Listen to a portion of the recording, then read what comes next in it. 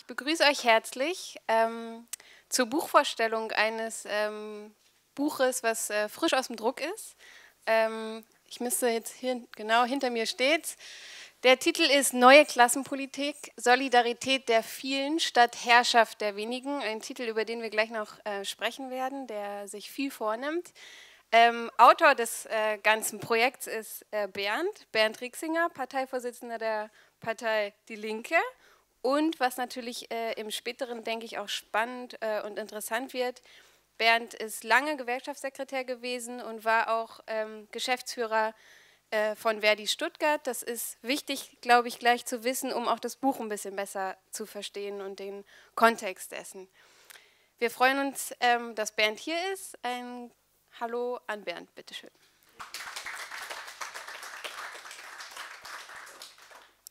Wir wollen das Ganze aber diskutieren, ähm, zusammen mit Volker Lösch. Volker, du bist einer der bekanntesten ähm, Regisseure des Gegenwartstheaters. Ich glaube, das kann man selbstbewusst so sagen. Ähm, du bist bekannt gerade für ein Theater, was sich vornimmt, in den politischen Raum zu intervenieren. Auf deinem Zettel stehen, wenn ich richtig informiert bin, mittlerweile über 80 Inszenierungen mittlerweile. Ihr teilt auch ein bisschen ähm, eure Vergangenheit in Stuttgart. Du warst selber über acht Jahre Hausregisseur in Stuttgart am äh, Theater. Ihr teilt aber auch eure, euer politisches Engagement in Stuttgart, beispielsweise beide und du vor allem immer noch dabei, Stuttgart 21 und die Proteste da. Ein herzlich willkommen an Volker, dass er mit uns diskutiert über das, was Bernd uns heute so berichten wird.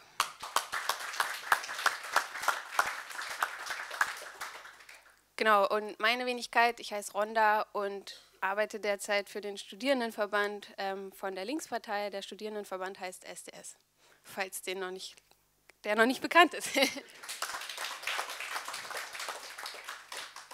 Genau, wir haben uns das ein bisschen so vorgenommen. Wir werden, ähm, oder ich habe hier so einen einigermaßen langen Fragenkatalog dabei. Wir gucken mal, ob es langweilig wird. Wir gucken mal, ob es klappt, äh, dass wir das beantworten. Wir wollen aber eigentlich ins Gespräch kommen und vor allem auch mit euch ins Gespräch kommen ähm, und äh, gucken mal, genau, wie viel Ausdauer wir haben. Ich werde jetzt am Anfang einfach ein paar Fragen stellen an die beiden. Ich hoffe, dass ihr euch auch sozusagen untereinander fragend, kommentierend begegnen könnt.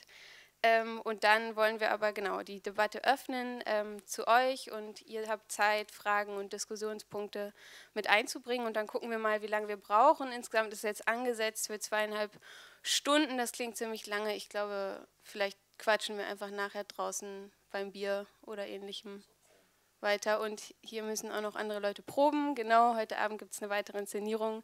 Das ist jetzt schon äh, die Ankündigung, die eigentlich am Ende erst kommen sollte. Genau. Ähm, bla bla bla. Wir beginnen mit Bernd, würde ich sagen, ähm, Autor des äh, Buches. Ähm, und äh, wie man das so macht, beginnt man natürlich erstmal mit den persönlichen Fragen.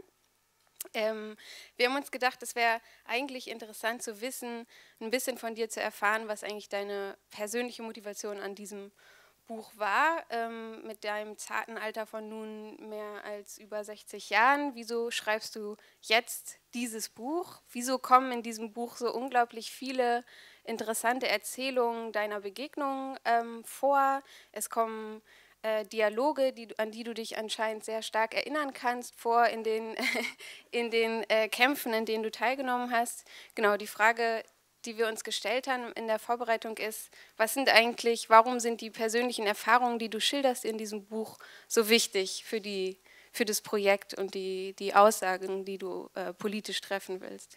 Ja, vielen Dank für die Frage. Das hängt natürlich damit zusammen, dass ich über 40 Jahre aktiv in der, in der Gewerkschaft war. Meine ganze Lebensgeschichte ist eng verbunden mit den äh, Kämpfen, Streiks und Auseinandersetzungen, auch innergewerkschaftlichen Auseinandersetzungen äh, äh von über 40 äh, Jahren oder eigentlich schon 45, wenn man es genau nimmt. Ich hoffe, dass ich trotzdem noch nicht so alt aussehe. Ähm, ähm, und Zweitens habe ich aber auch eine andere Geschichte noch, also dass ich seit ich 15 war für ein selbstverwaltetes Jugendzentrum gekämpft habe, in der Friedensbewegung aktiv war, die Proteste gegen die Agenda 2010 mit äh, initiiert habe, wo 100.000 Leute in Berlin demonstriert hatten. Ähm, und beide Aspekte waren eigentlich immer Klassenpolitik. Also es war immer konfliktorientierte Politik und ich bin auch in der Gewerkschaft immer für eine konfliktorientierte, klassenkämpferische Politik gestanden, aber immer auch mit einem politischen äh, Aspekt, immer die Gesellschaft als Gesamtes zu verändern. Und als ich in die Linke gekommen bin und äh, dort äh, ungeplant, muss man jetzt sagen, äh, Parteivorsitzender geworden bin, ähm, hatte ich zum Ziel, diese Elemente auch in die Partei einzubringen. Also ich hatte eine Partei vorgefunden, die wenig kampagnefähig und wenig klassenkämpferisch war. Und es war eigentlich sogar so, dass in vielen Bereichen diskutiert wurde, ach du willst immer über Arbeit reden, wie langweilig, lass uns doch mal über was anderes reden. Und ich war zutiefst überzeugt, dass die Linke nur äh, eine Bedeutung haben kann, wenn sie einen Bezugsrahmen zu den 44 Millionen Lohnabhängigen hat. Wenn sie diesen Bezugsrahmen nicht hat und ins Zentrum stellt, wird sie eine Randerscheinung äh, bleiben. Und wir hatten jetzt im, im Zusammenhang mit den Wahlen ähm, ja praktisch in bestimmten Milieus rein verloren also insbesondere in den sozialen Brennpunkten bei Erwerbslosen, aber auch bei Arbeitern in Anführungszeichen. Und dann gab es eine ganz schräge Debatte bei uns. Ähm, ähm, die Linke verliert die Arbeiterklasse. Bernd? Mal, ich bin sofort fertig. Mal abgesehen, dass wir die nie hatten, hatte ich dann gesagt, also was definieren wir denn unter Arbeiterklasse? Sind die sechs Millionen äh, Pflegekräfte und im Gesundheitswesen arbeiten, keine Arbeiterklasse. Die haben wir nämlich gewonnen. Nicht alle sechs Millionen, aber viele davon. Oder sind denn bestimmte äh, äh, äh Bereiche keine Arbeiterklasse? Ist das mit dem blauen Anton verbunden oder was? Und äh, habe dann mich äh, motiviert gesehen, mal aufzuschreiben, was denn eigentlich heute Arbeiterklasse ist und was ähm, Klassenpolitik sein kann. Ähm, du klaust mir gleich meinen Fragebogen, deswegen muss ich hier intervenieren. Du hast schon den großen Bogen gespannt. Ähm, ich wollte noch mal einmal kurz nachhaken und zwar, ähm, worauf ich ein bisschen auch hinaus wollte, ist beispielsweise an der Geschichte von äh, Violetta. Ich glaube, so heißt deine Nachbarin. Die kommt in dem Buch immer wieder vor. Es ist so ein bisschen wie ein roter Faden, an den du dich erinnerst und du zitierst oft sozusagen Begegnungen im, im Hausflur, erzählst so ein bisschen ihre Lebensgeschichte. Und ähm, was mich interessieren würde, ist so ein bisschen zugespitzt die Frage, kann es sein, dass dieses Buch ohne diese Begegnungen, die du beispielsweise mit Violette hattest, dass dieses Buch gar nicht existieren könnte, weil du diese Gespräche brauchst, weil du die Erfahrungen in den Kämpfen gebraucht hast, weil du, um es ein bisschen überspitzt zu sagen, überhaupt die Arbeiterinnenklasse für dich auch kennenlernen durftest in deiner Vergangenheit. Wäre das Buch ohne Violetta also gar nicht entstanden? Ohne Violetta vielleicht schon, aber ohne die vielen äh, streikenden Verkäuferinnen, Erzieherinnen, äh, äh, Amazon-Beschäftigte und andere, äh, mit denen ich immer eng zusammengearbeitet habe, wäre es sicher nicht ent entstanden. Also ich wollte auch kein rein theoretisches Buch schreiben, sondern eins, das auch praktisch die den theoretischen Ansatz, den grundsätzlichen verbindet mit dem Leben, Arbeiten und Kämpfen äh, der Leute die ich eben die letzten äh, 40 Jahre erlebt habe und wo ich sag mal, auch in Anspruch nehme, neue äh, Streikmethoden und neue Formen des, des, Klassenkampfes, wenn man so einen, mitentwickelt zu haben. Und ohne die wäre das natürlich nicht möglich gewesen und auch dieses Buch nicht geschrieben worden. Ähm, danke. Ich würde vielleicht einmal, damit ich nicht den Rücken die ganze Zeit zu dir gedreht habe. Volker habe ich auch schon bestreikt. Ja? Erzähl mal.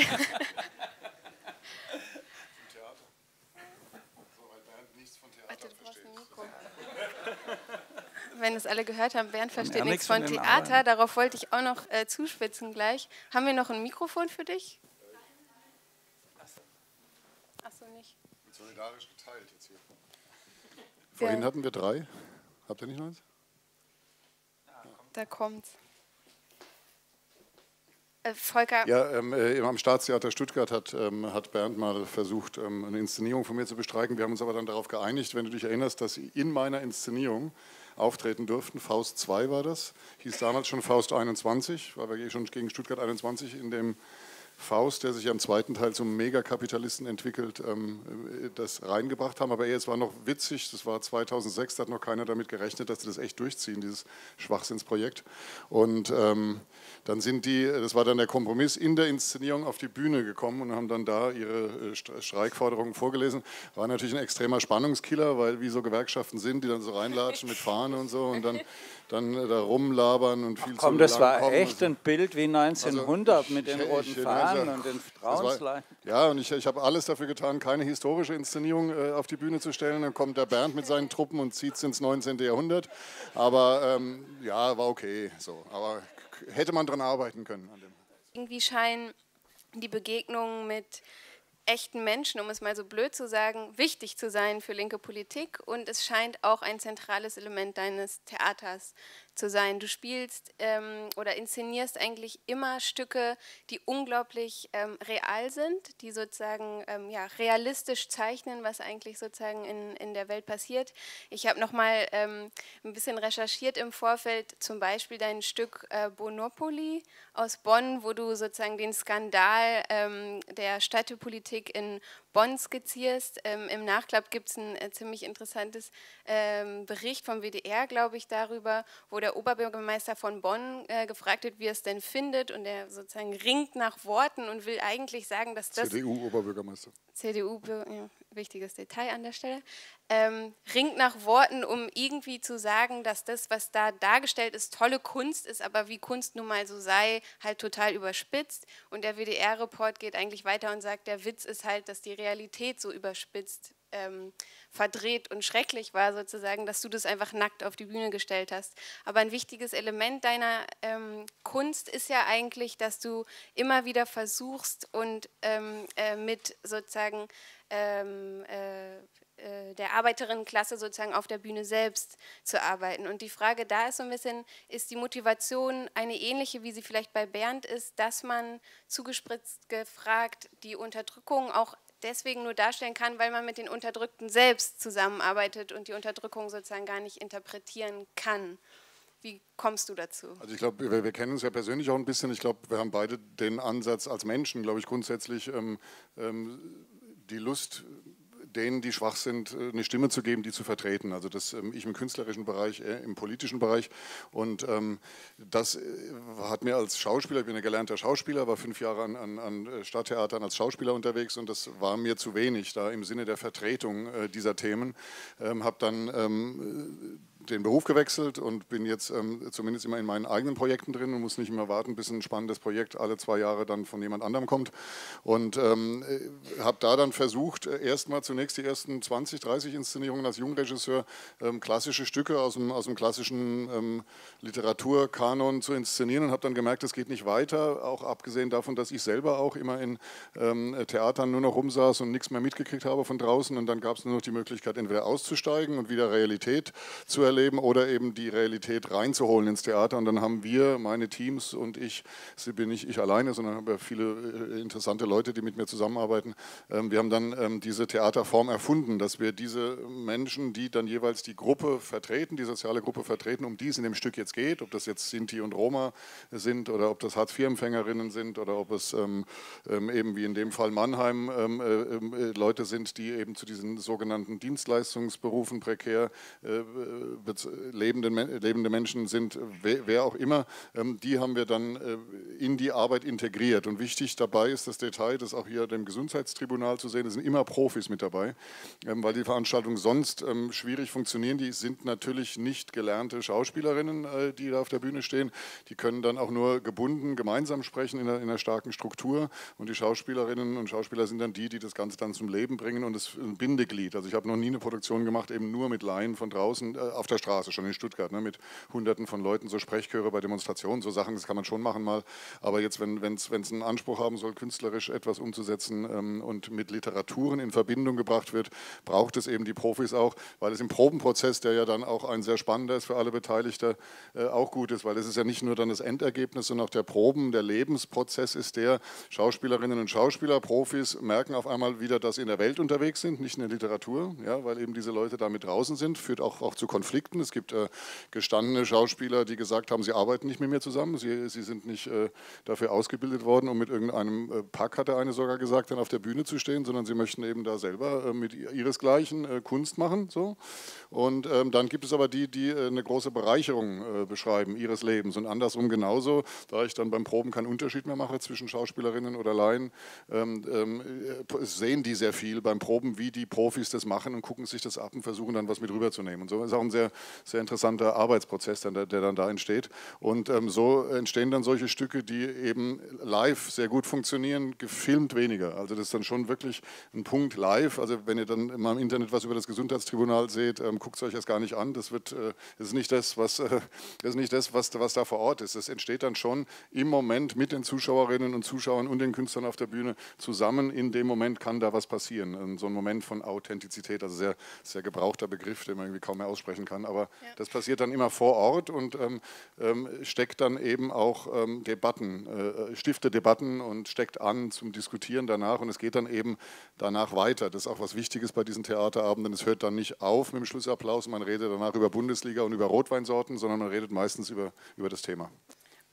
Willst du das vielleicht nochmal zuspitzen? Was ist das, was danach passiert? Also man kann es ja runterbrechen auf der, Wirk also der Gesellschaft wird sozusagen der Spiegel vorgehalten, wenn sie dort sozusagen sitzen. Sie, sie müssen sozusagen der Realität ins Gesicht sehen. Das kann man auch, auch nur mit Stücken machen. Ne? Also Stücke, die jetzt Macbeth heute heutig inszeniert mit, mit einem guten Konzept, auch da guckt man sich selbst ins Gesicht. Das sind ja immer menschliche Archetypen, die da abgebildet werden. Aber jetzt konkretes Beispiel Bonn vielleicht nochmal zu nehmen. Am Ende haben wir die Recht auf Stadtbewegung auf der Bühne der Stadt Bonn. Da stehen 100 Bürgerinnen und Bürger jeden Abend auf der Bühne und sprechen einen Text, den sie selber quasi mitgestaltet haben äh, durch die Beantwortung von Fragen, die wir Ihnen gestellt haben. Den sprechen die selber. Man kann auch selber damit sprechen. Also es gibt so 80, so eine Kerntruppe, die da steht und dann gehen die aus dem Publikum, die Lust haben, damit zu sprechen, beim nächsten Mal einfach mit auf die Bühne. Das ist aber das Ende der Inszenierung. Und zusammengestellt haben wir diese Gruppen ähm, über ähm, äh, ein Zusammenführen auf der Probebühne in der Probenzeit von Kleinstinitiativen in der Stadt Bonn. Also die einen haben gegen eine Zusammenlegung von Sozialämtern ge gekämpft, die anderen haben gegen Verdrängung wegen einem neuen ähm, äh, äh, PPP-Projekt äh, gekämpft, die anderen haben wieder äh, aus, kamen aus der Mietenbewegung gegen Verdrängung gekämpft und so weiter. Und es waren eher so zwei, drei Leute, die sehr zaghaft und äh, fast stimmlos, also muss man mal sagen, sag doch mal, was du willst und so und komm doch mal jetzt auf die Probe und so, muss man fast dann zu den Proben zwingen. Und die sind jetzt aber so zusammengewachsen durch diese Theaterinszenierung und durch diesen Chor am Ende, ähm, ist es so präsent geworden für sie und sie haben eben dadurch, dass sie ihren Erfolg haben äh, und Applaus bekommen sehr viel und Zuspruch, äh, so ein Selbstbewusstsein bekommen, dass die jetzt wiederum eine Großdemo in, in, in Bonn äh, angestrengt haben, Recht auf Stadt, die erste Recht auf Stadt-Demo, die wirklich aus dem Theater heraus entstanden ist. Ne? Das ist ein Glücksfall, dass das so, dass das so funktioniert ist. Und ähm, haut, haut natürlich nicht immer hin, ist es 30 Mal gelaufen, ist immer ausverkauft und wird diese Spielzeit nicht weitergeführt, weil ähm, angeblich ähm, irgendwelche technischen Probleme da sind. Die Wahrheit ist aber, glaube ich, dass ähm, ähm, es da einige Verbindungen äh, aus, auf der Verwaltungsebene des Theaters in, in CDU-Kreise reingibt und man irgendwann mal froh ist, dass dieses Stück nicht weitergespielt wird. Also auch das passiert einem am Staatstheater. Wir kommen gleich noch dazu, was vielleicht auch die Politik vom Theater lernen kann. Ähm, vielleicht bevor wir das Buch ganz aus den Augen verlieren, nochmal zurück zum Buch. Ähm, ich hatte vorhin. ich hatte vorhin ähm, schon angedeutet, der Titel nimmt sich ähm, einiges vor. Ähm, wir werden einerseits schon auch an ein viel diskutiert an ein Vorbild oder ähm, ja, Vorbild ähm, erinnert, nämlich die ähm, Labour-Bewegung in, in ähm, äh, England ne, äh, mit ähm, For the Many, Not the Few spielt so ein bisschen der ähm, äh, Titel, den ähm, du auf Deutsch gewählt hast. Der Titel ähm, spielt aber auch mit einem Begriff, der seit kurzem oder seit, ich würde mal sagen, so zwei Jahren ähm, mehr oder weniger wieder an Relevanz gewonnen hat, nämlich den Begriff der Klasse oder der Klassenpolitik. Und in deinem Buch, ähm, das fand ich ganz witzig, beim Lesen stellst du dir selber die Frage, ob nicht, Zitat, die alte Klassenkampfrhetorik abschreckt. Dann formulierst du aber wenige Sätze weiter, dass es, Zitat, in diesem Buch vor allem um die Veränderung der Zusammensetzung der Arbeiterinnenklasse im Zusammenhang der Produktivkräfte ginge. Und dann dachte ich mir aber, das ist doch klassisch marxistisch. Die Frage also ein bisschen an dich ist, Bernd, zurück zur Klassenanalyse, im alten Stil oder was ist neu an der Klassenpolitik? Die Frage hast du bestimmt schon oft gehört, aber wir wollen sie dir trotzdem nochmal stellen. Ähm, äh, was du dir sozusagen neu vornimmst mit einem Aufruf zurück zur Klasse. Ja, ich muss das ein kleines bisschen ausholen. Also ich glaube, erstens mal ist wichtig, warum brauchen wir denn überhaupt einen Klassenbegriff? Klasse hat ja nur dann einen Sinn, wenn sich Menschen zusammenfinden oder zusammengebracht werden, die gemeinsame Interessen vertreten, die sie miteinander verbindet. Das ist ja die Voraussetzung. Und man braucht dafür auch noch gar keinen Klassenbegriff, aber man braucht ihn dann, wenn man weiß, gegen welche andere Klasse muss man denn seine Interessen durchsetzen. Ähm, und das ist, glaube ich, in Zeiten einer Rechtsentwicklung, wo ein völkischer äh, Gedanke aufkommt, besonders wichtig, dass man begreift, nicht die Flüchtlinge sind die Gegner oder die von draußen kommen, sondern es ist so eine Auseinandersetzung zwischen Kapital und Arbeit. Ja? Und wenn man höhere Löhne haben will, bessere Sozialsysteme, muss man das eben gegen diese Klasse der Kapitalbesitzer durchsetzen. Ja? Und äh, ähm, das Zweite, was wichtig ist, dass wir ja schon seit 30, 40 Jahren einen massiven Klassenkampf von oben erleben. Also das Buch wird ja eingeführt mit dem Spruch von Warren äh, Buffett, der gesagt hat, es herrscht Klassenkampf äh, in unserem Land und meine Klasse gewinnt. Und dann gibt es noch einen Zusatz, der meistens nicht zitiert wird, der heißt, das sollte sie aber nicht. Ähm, und äh, ähm, das deutet darauf hin, was die letzten 40 Jahre gelaufen ist. Massive Umverteilung, Reallohnsenkungen, Verschlechterung der Situation von Millionen von Menschen ist nichts anderes wie Klassenkampf. Und die herrschende Klasse ist sich dessen vollkommen bewusst und führt diesen Kampf auch ganz konsequent, während die Lohnabhängigen sich durchaus nicht bewusst sind, dass sie eine Klasse sind und auch ihren Kampf konsequent äh, führen müssen. Ich glaube, das sind so Ausgangsbedingungen, warum man überhaupt einen Klassenbegriff braucht. Und das Wichtige ist aber, dass wir heute, wenn wir über Arbeiterinnenklasse äh, sprechen, ähm, feststellen müssen, dass die sich völlig, völlig anders zusammensetzt als vor 40 Jahren. Vor 40 Jahren hatten wir nur 60 Prozent der Lohnabhängigen, also der Bezugsrahmen von mir ist stark die Lohnabhängigkeit, nicht der einzige, aber ein ganz wichtiger, dass man sagt, okay, die sind, besitzen kein Kapital, keine Produkt, äh, Produktionsmittel, sondern müssen ihre Arbeitskraft verkaufen und müssen sich deshalb als Klasse organisieren, wenn sie nicht auf der Strecke bleiben wollen. Also ich habe einen sehr inklusiven Begriff, der auch die Flüchtlinge, die Migranten äh, äh, einbezieht und jetzt nicht so diese alten Unterschiede macht zwischen werteschaffend oder nicht werteschaffend, was ich sowieso nur einen blöden Ökonomismus finde.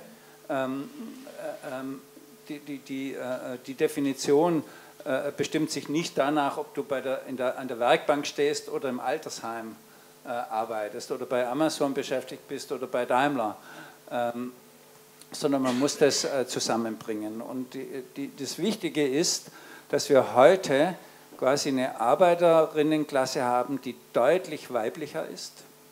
Also wir haben eine Zunahme der Beschäftigung von Frauen von über 30 Prozent. Ähm, außer im ehemaligen äh, ähm, Osten oder im Osten, da waren es mal 90 Prozent, sind es jetzt 70, da ist zurückgegangen die Frauenbeschäftigung. Da haben wir eher einen Rückspring. Zweitens ist sie deutlich migrantischer. Ähm, also jeder fünfte Beschäftigte oder jede fünfte Beschäftigte hat Migrationshintergrund bei uns. Im Übrigen auch was Positives. Äh, ähm, wenn man hier so verkürzt diskutiert, wie wenn das Belastung und Konkurrenz wäre, ist doch ein Witz. Ich stelle in dem Buch dar, ohne die äh, ganzen äh, Migrantinnen und Migranten hätten wir nur schon gar nicht dieses Wirtschaftswunder, würden ganze Bereiche gar nicht funktionieren. Es gäbe aber auch deutlich weniger Klassenkämpfe und Streiks. Die haben erheblich zur Belebung quasi äh, dieser Streiks beigetragen. Deswegen sollten wir das als produktives Element quasi der Klasse betrachten und nicht als belastendes. Sie ist aber auch deutlich prekärer geworden quasi dieser Kapitalismus hat eben Prekarisierungsschub äh, hervorgebracht, also damit gespaltener, ausdifferenzierter und zum Teil sind ganze Gruppen auch ausgegrenzt. Ähm, und äh, äh, es arbeiten deutlich mehr Beschäftigte im Dienstleistungssektor. Also 75 Prozent der Beschäftigten sind im Dienstleistungssektor, nur noch 18 Prozent in der Industrie. Ich meine, die Zahlen muss man ein bisschen relativieren, weil viel ausgelagert wurde und, und, und, und. Aber trotzdem beschreibt es, welche Verschiebung das es äh, dort gibt. Und wenn wir über Klasse reden, müssen wir über diese heutige Zusammensetzung reden, ja, und wo dort die Interessenslagen sind und was wir dort miteinander ver verbinden müssen. Und wenn ich jetzt noch eine Anmerkung machen darf, das Wichtige ist, Klasse ist da nicht nur ein objektiver Begriff, sondern die, die, Menschen müssen sich ja als Klasse in konkreten Erfahrungen und Kämpfen formieren. Und da wäre eben meine These, und das äh, wird im Buch auch mit vielen Beispielen beschrieben, also wenn man Indiz nimmt, Streiks, Arbeitskämpfe, äh, äh, ähm, wichtige gesellschaftliche Auseinandersetzungen, würde meine These folgen, auch die sind weiblicher geworden, migrantischer, mehr in prekären Bereichen und mehr im Dienstleistungssektor. Also wenn wir die wichtigen großen Streiks nehmen, das sind die heute von Erzieherinnen, von Verkäuferinnen. Oder ich war jetzt, also was mich ganz arg äh, beeindruckt hat bei Ryanair. Also ich hatte die Wahl, ob ich zu Merkel ähm, in die Haushaltsdebatte gehe oder zu den Streikenden von Ryanair. Und äh, das macht eben meine Geschichte. Ich bin dann zur Ryanair gegangen.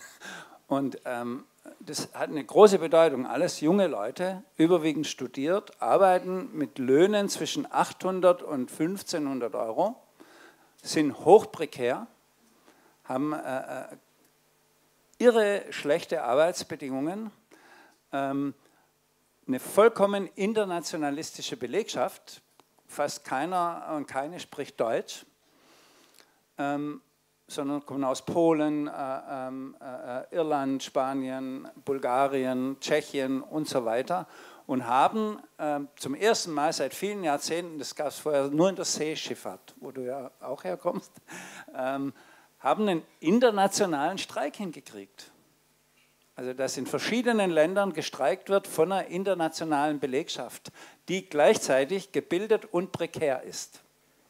Ja, also wenn wir über Klasse sprechen, dann deutet sowas auch die Zukunft von Klassenkämpfen an. Und die Linke könnte da wirklich eine ganz fortschrittliche Rolle spielen, wenn sie das als Bereicherung begreift. Wenn sie begreift, dass das super ist, wenn Erzieherinnen, Verkäuferinnen, äh, Bewachungs Bewachungsgewerbe und vieles andere, wenn die streiken und wir das befördern und wenn wir die Interessenslage dieser Leute mit denen in der Industrie, mit den Erwerbslosen und vielen anderen verbinden. Und das beschreibe ich in dem Buch theoretisch und praktisch.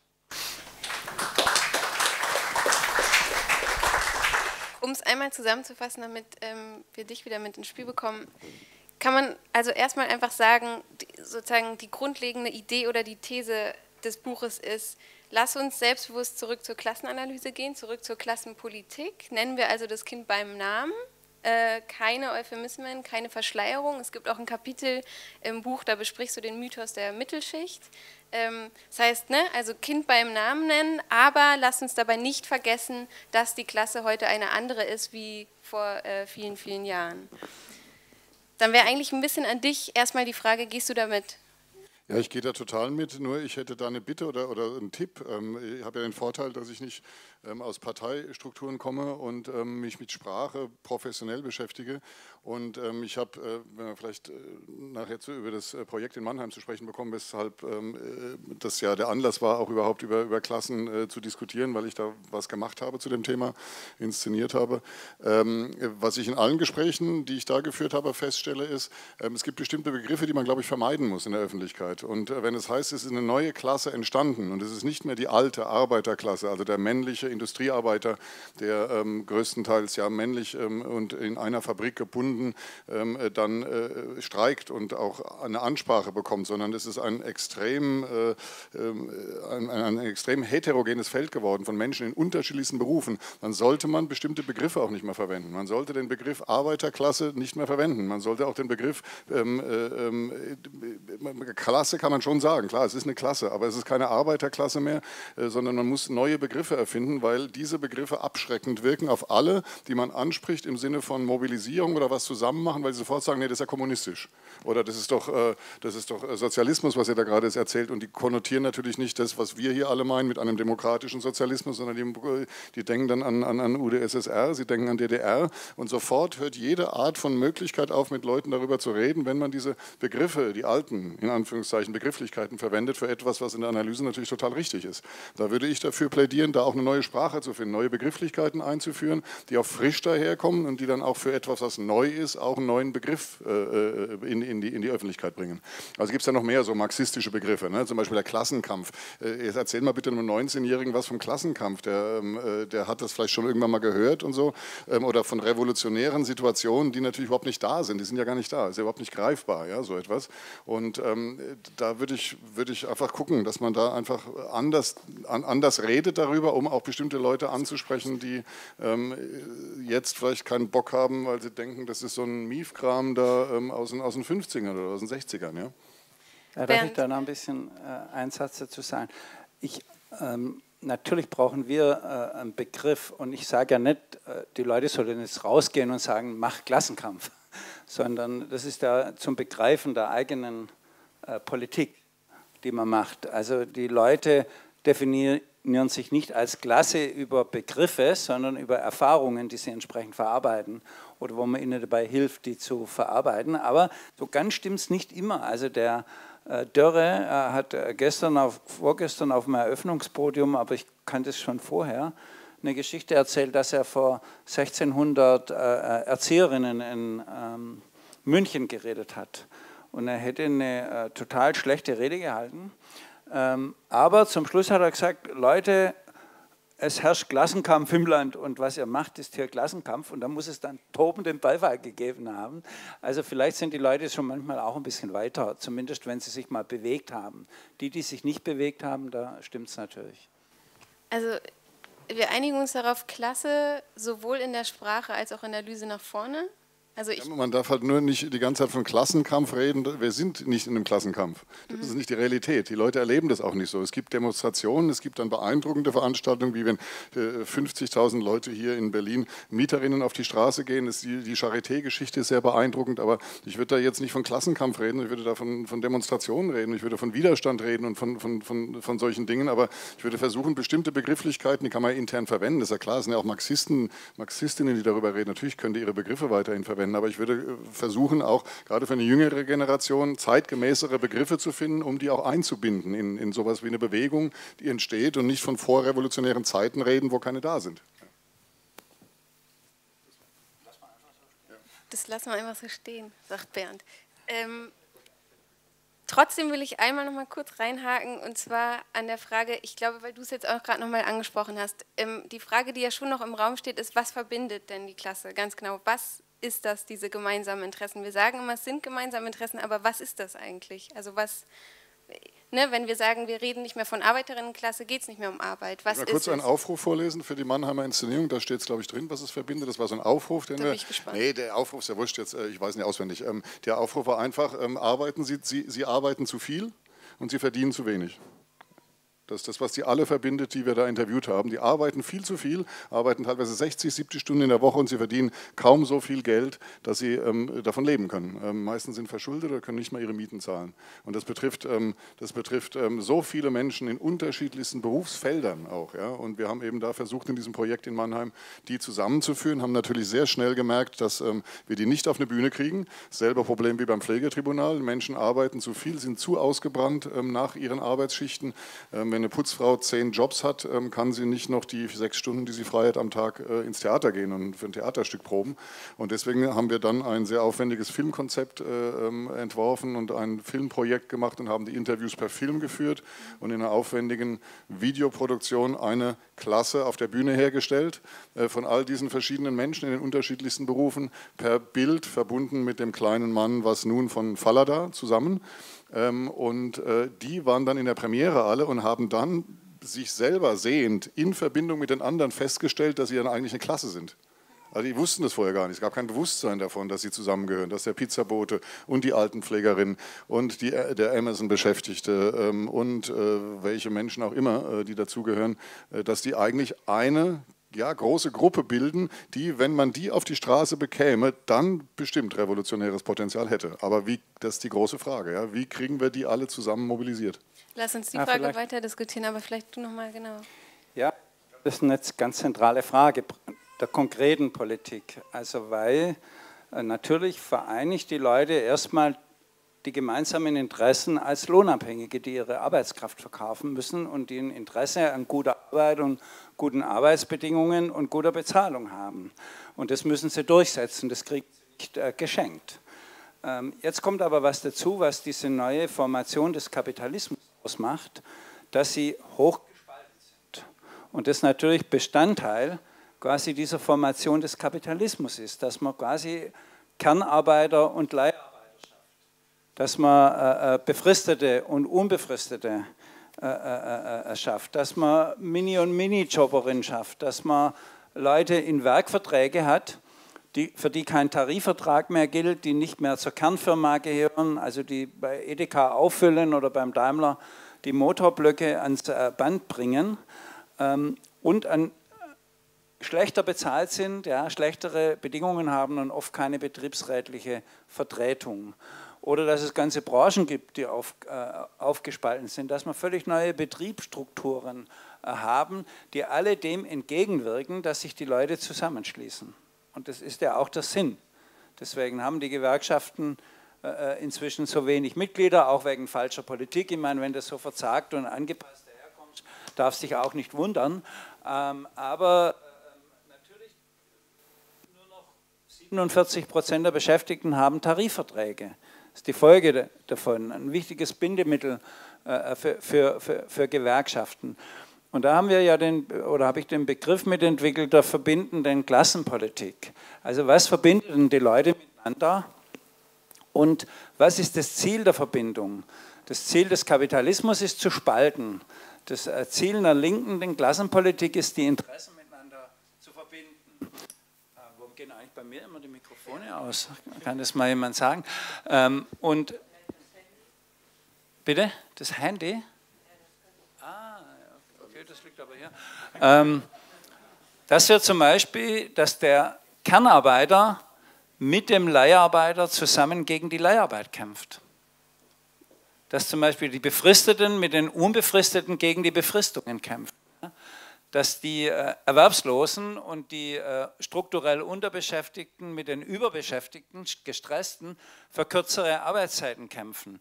Also wir brauchen praktisch äh, Forderungen, Projekte, die die Interessen der Leute miteinander verbinden und der Aufspaltung entgegenwirken. Und da ähm, habe ich ja in dem Buch auch äh, Vorschläge gemacht, wie so eine verbindende Klassenpolitik aussehen kann, aber nicht einfach aus der Theorie nur, anknüpfend an Kämpfe und Auseinandersetzungen, die bereits äh, geschehen. Und da wollte ich noch ein Element einbringen. Natürlich ist im Zentrum quasi einer Klassenpolitik immer die Auseinandersetzung in der Arbeit, also um Lohn, um Arbeitsbedingungen, um Regulierung gegen prekäre Arbeit und so weiter, für Arbeitszeitverkürzung. Aber in positiven Zeiten der Arbeiterbewegung hat sie eigentlich immer den ganzen Menschen im Blick genommen. Wir hatten früher Kulturvereine, äh, Konsumgenossenschaften, äh, äh, Wohngenossenschaften und viele andere Dinge, alles Resultate der Arbeiterbewegung. Und ich glaube, wir müssen auch heute erkennen, dass quasi verbindende Klassenpolitik heißt, auch das ganze Leben der Leute im Blick zu nehmen. Ähm, auch die Reproduktionsseite, zum Beispiel das Interesse auf bezahlbare Wohnungen, auf angemessenes wohnen. Oder das Interesse ähm, auf gute Kindererziehung, gebührenfrei. Oder äh, das äh, Interesse auf öffentlichen Nahverkehr, gebührenfrei. Eine gute öffentliche Infrastruktur, Zugang zu Kultur und Kunst. Ähm, auch das sind natürlich verbindende Fragen. Also der Arbeiter in der Produktion muss ein Interesse daran haben, objektives, dass die Erzieherin äh, bessere Arbeitsbedingungen hat und bessere Bezahlung, damit seine Kinder besser erzogen werden. oder, äh, die, äh, äh ähm, oder der, der, die Angestellte bei IBM oder sonst irgendwo muss Interesse haben, dass die Altenpflegerin gut ausgebildet und gut bezahlt ist, weil vielleicht ihre pflegebedürftige Mutter demnächst ins Altersheim muss. Das heißt, auch dort die Verbindungen äh, herzustellen der verschiedenen Interessen, dass nicht der Arbeiter denkt, was, jetzt muss ich mehr Steuern zahlen, damit die äh, Erzieherin äh, mehr Geld bekommt oder was geht mich das an? Das sind quasi verbindende Projekte und die entstehen nicht einfach so, sondern das braucht eine politische Kraft, die diese Verbindungen organisiert und herstellt. Lass uns bei der Frage, wie man es zusammenbekommt, äh, die Klasse zusammenbekommt, äh, gleich einhaken. Ich würde gerne noch mal bei Spaltung bleiben.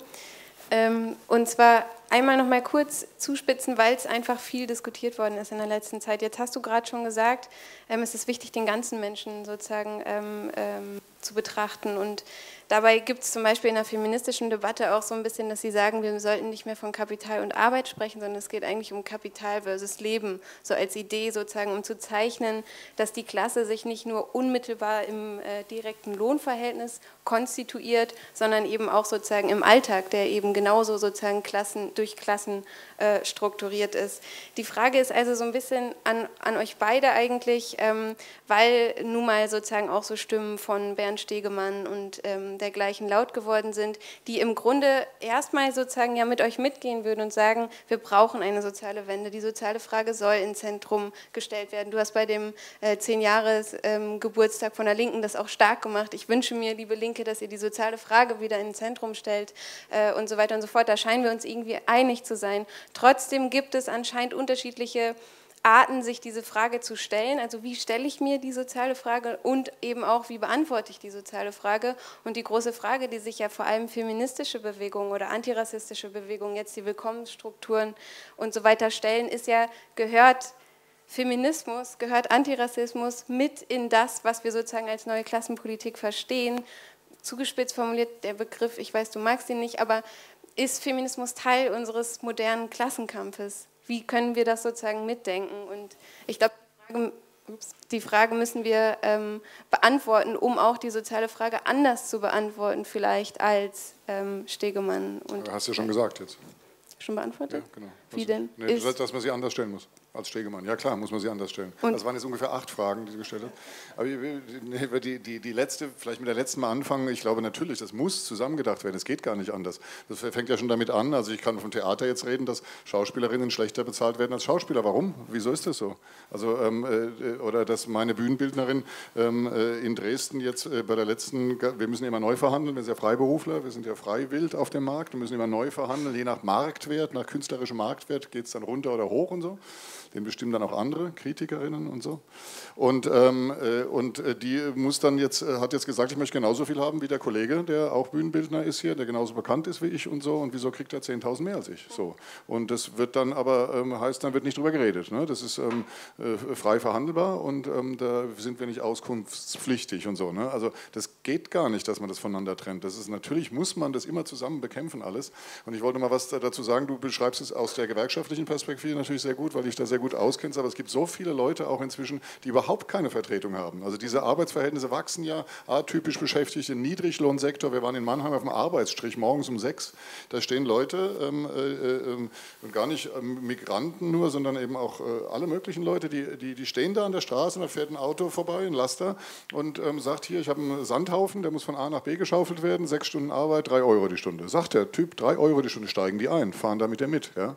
Ähm, wer vertritt denn all diese Leute? Das wächst ja alles. Im, im, im Hotel, ähm, Hotelangestellte, Zimmermädchen, äh, Zimmerjungen, Zimmermädchen meistens leider, ähm, die dann für drei ähm, Euro, vier Euro die Stunde äh, schwarz äh, Luxushotels äh, reinigen und so weiter. Ja? Also, äh, und da ist es viel, viel schwieriger, an die ranzukommen. Die, die in den Betrieben sind, die kriegt man ja auch über Gewerkschaft. Und da gibt es vielleicht eine Kantine auch noch, wo man sich treffen kann. Und dann kann sich mal jemand auf den Tisch stellen und kann sagen, Leute, hier 18 Uhr heute Abend die und die Veranstaltung, kommt bitte alle und so. Aber wie kriege ich die alle, die anderen, diese Menschen, für die man ja dann eigentlich noch mehr kämpfen müsste, die gar keine Vertretung haben, wie kriegen wir die alle zusammen auf einen großen Platz äh, oder äh, in eine Energie rein, in eine Protestenergie rein? Ähm, das ist viel, viel schwieriger und ähm, eine, eine wahnsinnige Herausforderung. Das, weil, weil man müsste ja Orte, so so wie es die Polis damals in der Antike gab, wo die Menschen sich getroffen haben und die politischen Anliegen besprochen haben. Es müsste ja solche Orte, ich meine, es ist auch rein, rein ähm, äh, orthografisch, ja, nee, Orte, ich meine, äh, äh, Marktplätze, ähm, äh, Räume, ja, soziale Räume müsste es ja geben, die sowas anbieten. Da wäre ich es nicht so bei der Linkspartei, da wäre ich eher bei einem Theater, beim Stadttheater. Ja. Die stehen mitten im, in der Stadt, die sind groß, die haben genug Räume, äh, die gut, ich habe jetzt keins, aber wenn ich eins hätte, ähm, wäre das zum Beispiel so ein Ort, in dem man das wirklich versuchen müsste, die alle da zusammenzuführen, weil wo können sie denn miteinander reden? Wo können sie sich über ihre Erfahrungen, die sie machen, austauschen? Und es ist immer ans Geld gebunden. Alles, was sozial ähm, äh, äh, passiert im Leben, ob ich meine Miete nicht zahlen kann, ob ich äh, meine Kinder nicht zum Schulausflug schicken kann, ähm, ob ich mich schäme dafür, weil ich äh, seit zehn Jahren nicht mehr im Urlaub war und noch nicht mal mehr im Schwarzwald war oder so, nicht mitreden kann, weil ich mich schäme, in der Kneipe äh, niemand, niemand niemals die anderen mal einladen zu können, weil sie immer mich einladen. Das ist immer Geld, ja, weil alles, was Geld definiert wird, ähm, kommt immer wieder auf diesen Geldpunkt. Deswegen haben wir die Frage so einfach gestellt. Wer hat zu wenig Geld zum Leben und muss trotzdem so viel arbeiten, dass er, was er umfällt und möchte was dazu sagen? Vielleicht direkt tatsächlich an dich, Bernd. Ähm, ja, unbedingt richtiger Ansatz. Ähm, die Frage kann man noch weitergehen. Wir haben Hunderttausende in Dienstboden, in, in Putzfrauen, in, in, Privathaushalten. Also dieser, dieser Bereich wird immer mehr, der quasi gewerkschaftlich nicht erfasst ist und äh, der zum Teil wieder feudale Abhängigkeitsverhältnisse hervorruft. Auch im Theater natürlich, also die vielen äh, Arbeitslosen. Hospitanten. Ja, genau. Also da hast du ähm, eine Refeudalisierung bestimmter äh, Lebens- und Arbeitsverhältnisse. Ich glaube, ich bin auch jetzt in dem Buch nicht rein Gewerkschafter, sondern auch um einen politischen Begriff quasi der Auseinandersetzung. Es geht ja auch um eine Rolle einer linken Partei da drin. Und ich teile unbedingt, dass man Räume aufbauen muss, äh, Begegnungen organisieren muss. Das muss immer eine praktische Dimension haben. Ich sehe aber natürlich auch unsere Begrenztheit, also was wir hinkriegen und was wir äh, nicht hinkriegen. Aber nochmal zu diesen identitären Fragen. Ich halte das für einen ähnlichen Quatsch und Irrtum äh, äh, wie die Frage mit der Migration und äh, äh mit, den, äh, mit den Flüchtlingen.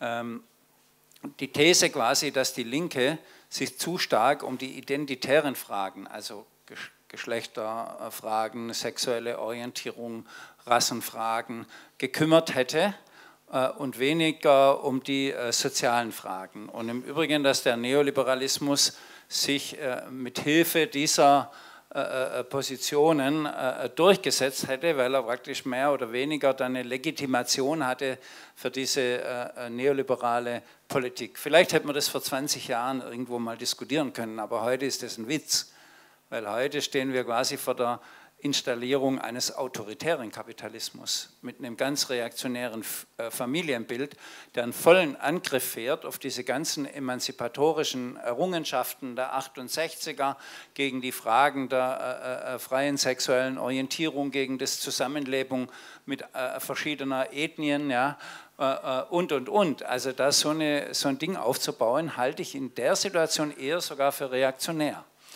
Ähm, und natürlich äh, müssen die Klassenfragen mit den identitären Fragen eng verbunden werden. Ähm, zumal es auch zum Teil wiederum Klassenfragen sind. Du kannst natürlich lohnabhängig sein und gleichzeitig Muslima sein, die diskriminiert wird, schwul oder lesbisch ähm, oder trans, die im Übrigen auch stärker diskriminiert werden in der Arbeitswelt wie andere und äh, äh häufig auch im, im, im Niedriglohnbereich. Äh, äh, sind ähm, und gleichzeitig Mitglieder der Arbeiterinnenklasse. Ja? Und äh, wenn du nicht der gehobenen Mittelschicht angehörst und nicht einer äh, bestimmten Bildungsbürgertum, hast du sogar viel schwerer, äh, äh, diese Orientierungen zu leben und deine Identität zu leben. Und es muss ge genau linke Politik sein, dass die Leute materiell ihre Lebensorientierung verwirklichen können. Und deswegen muss man das äh, eng zusammenbringen. Und ich, die gleiche Debatte gab es ja auch in den USA. Und ich finde, die Noemi Klein hat es äh, sehr gut formuliert, dass sie deutlich nochmal gemacht hat, dass der amerikanische Kapitalismus ohne die äh, Rassentrennung überhaupt sich nie hätte so entwickeln können, sondern der hat immer davon gelebt, dass er ein Bündnis zwischen äh, den weißen Industriearbeiter und den Farbigen verhindert hat. Und genau diese Spaltungsprozesse äh, organisiert hat. Und deswegen äh, darf man diese Fragen überhaupt nicht gegeneinander stellen, genauso wie die Migrationsfragen. Natürlich sind die Migranten und im Kern auch die Flüchtlinge Teil der Arbeiterinnenklasse. 300.000 Flüchtlinge arbeiten schon. Äh, die werden eingesetzt als Subproletariat. Ja, und äh, ähm, da, da, können wir wirklich viel von der Geschichte lernen vom ersten äh, äh, Sozialistenkongress in ähm, Stuttgart, die gesagt haben, das löst man nicht durch Begrenzung der Migration ja, oder durch das, dass man ganze äh, ähm, Ethnien ausschließt, zu uns reinzukommen, sondern das löst man, indem man ihre Interessen vertritt und mit ihnen zusammen sich organisiert und indem man ihnen ein Zugang zu Gewerkschaften und anderen Organisationen äh, ermöglicht. Und das finde ich für uns heute tatsächlich den fortschrittlichen Ansatz und die fortschrittliche Auf Auflösung ähm, aus äh, dieser Frage. Alles andere äh, würde quasi wirklich eine reaktionäre Wendung der Klassenfrage mit sich bringen. Entweder ist die äh, Klasse inklusiv und alle gehören dazu, und wenn man einen exklusiven Begriff äh, definiert, dass man sagt, da gehören nur Deutsche dazu oder nur die, die schon da sind oder die und die nicht, äh, äh, dann tut man sich keinen Gefallen und das sollte man als linke Partei schon gar nicht tun.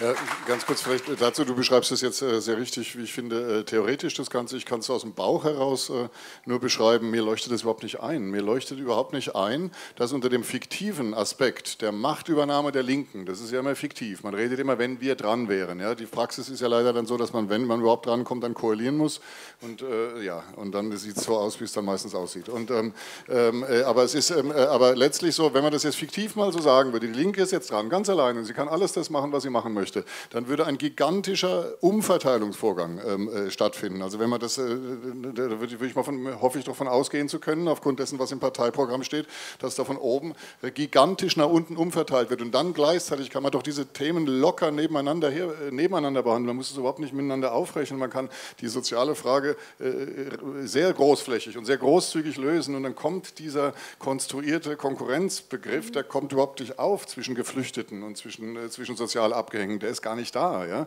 Also wenn schon äh, eine Vision, dann doch eine richtige und dann kann man das so alles zusammenlösen und dann ist überhaupt keine Rede von Wohnungsknappheit und von irgendwelcher Konkurrenz auf dem Arbeitsmarkt, weil das ja alles anders organisiert werden würde. Ja? Also das verstehe ich dabei nicht bei der Debatte. Und das Zweite, was ich nicht verstehe, ist, dass man auch nur den, den Anschein in der heutigen Zeit ähm, in Bezug auf Nationalismus ähm, äh, gehen, geht, ähm, äh, aus einer linken Ecke heraus, das, was du gerade gefragt hast, man muss diesen aufkommenden Rassismus natürlich mit diesen ganzen anderen Fragen behandeln behandeln. Und, das, äh, und da, da, kann es nicht sein, und das sage ich äh, aus dem Bauch raus und von zutiefstem Herzen, aufgrund meiner vielen Erfahrungen in Dresden, mit meinen vielen Projekten, die ich in Dresden gemacht habe, und mit diesen Tausenden von Gesprächen, die ich mit Pegidisten äh, geführt habe. Und ich habe es auch langsam satt, jetzt mit denen zu reden, also mir die Schnauze voll, weil sich eh nichts ändert. Und ähm, äh, ich bin überzeugt davon, dass es der falsche Weg ist, denen hinterherzulaufen. Man muss, man muss sich um die Grünen und um die SPD-Leute kümmern, dass die nach links kommen wieder. Und dann sind es eh viel mehr Und vorhin gab es ein sehr interessantes Podium, äh, ähm, was, was, was wir hatten vorhin, da war eben die Kabarettistin Ilda dabei. Und die hat eine, eine Wutrede gegen Sarah Wagenknecht gehalten. Und zwar äh, hat sie beschrieben, dass sie für die, sie hat übrigens 1,5 Millionen Menschen, die ihr folgen auf YouTube, 1,5 Millionen Menschen. Und das sind alles Menschen mit Migrationshintergrund. Und sie hat beschrieben, dass sie keinem einzigen dieser Menschen die Linke vermitteln kann, wegen Sarah Wagenknecht, weil Sarah Wagenknecht eben diesen Begriff und diese bestimmten Begrifflichkeiten inzwischen in Bezug auf ähm, äh, Nationalismus vertritt und dass aufgrund dessen ähm, ähm, kein Mensch mehr aus dieser Community oder ganz, ganz wenige etwas mit der Linken zu tun haben wollen. Und da kann man dann sagen, wenn das die Rechnung ist, dann, dann, dann würde man zugunsten von äh, Leuten, die angeblich von, äh, von, von, von links oder von Mitte nach rechts gewandert sind, würde man alle Migranten aufgeben, alle Migrantinnen aufgeben. Also aus rein machttaktischer Perspektive ist es ja völliger Irrsinn. Ja? Und da, da, da wurde mir so ganz sinnlich vorhin in dem Gespräch klar, was da gerade passiert passiert. Ja? Also dass, dass, dass die Linke, wenn sie, ähm, äh, was weiß ich, gibt es eine Spaltung, dann gibt es nur noch zwei, zwei 5%-Parteien, keine Ahnung, was, was ihr da jetzt veranstaltet demnächst und so. Aber ähm, äh, wenn das so, so weit käme, würde man ja ganz, ganz viele Leute verlieren, auch für die man kämpft und die ja zu dieser Klasse gehören, die du gerade da beschreibst. Und ähm, das Dritte ist auch aus dem Bauch heraus, ich bin in Südamerika aufgewachsen, mir ist es auch persönlich sehr fremd, diese ganze Geschichte. Für mich war das immer ein internationales Problem, mal äh, abgesehen davon, dass wir alle so leben, dass wir die Fluchtursachen ja verursachen. Dann können wir uns auch hinsetzen und können sagen, okay, dann müssen wir auch ein bisschen was dafür tun und müssen dann auch bestimmte äh, Einbußen hinnehmen, auch im persönlichen Leben, dafür, dass wir so geil leben, dreimal im Jahr in Urlaub fliegen. Ähm, all, ja, all, all, all unsere Lebensumstände sind ja so, dass sie dazu führen, dass 60 Millionen Menschen weltweit unter anderem ne, auf der Flucht sind. Nicht, nicht, nicht an allem schuld, aber doch an einigem. Und ähm, das, das, das verstehe ich alles nicht bei dieser Debatte und deswegen äh, bin ich ja da ganz, ganz, ganz eindeutig, äh, finde ich das und ähm, äh, auch 100% nachvollziehbar, dass so ein ähm, Klassenkampf, um den Begriff dann doch nochmal zu nehmen, nur ähm, über die Grenzen hinaus gemeinsam mit allen Menschen geführt werden muss, die ausgebeutet werden. Das ist der Punkt. Es geht um Ausbeutung und wo die Ausgebeuteten herkommen, ist doch völlig wurscht.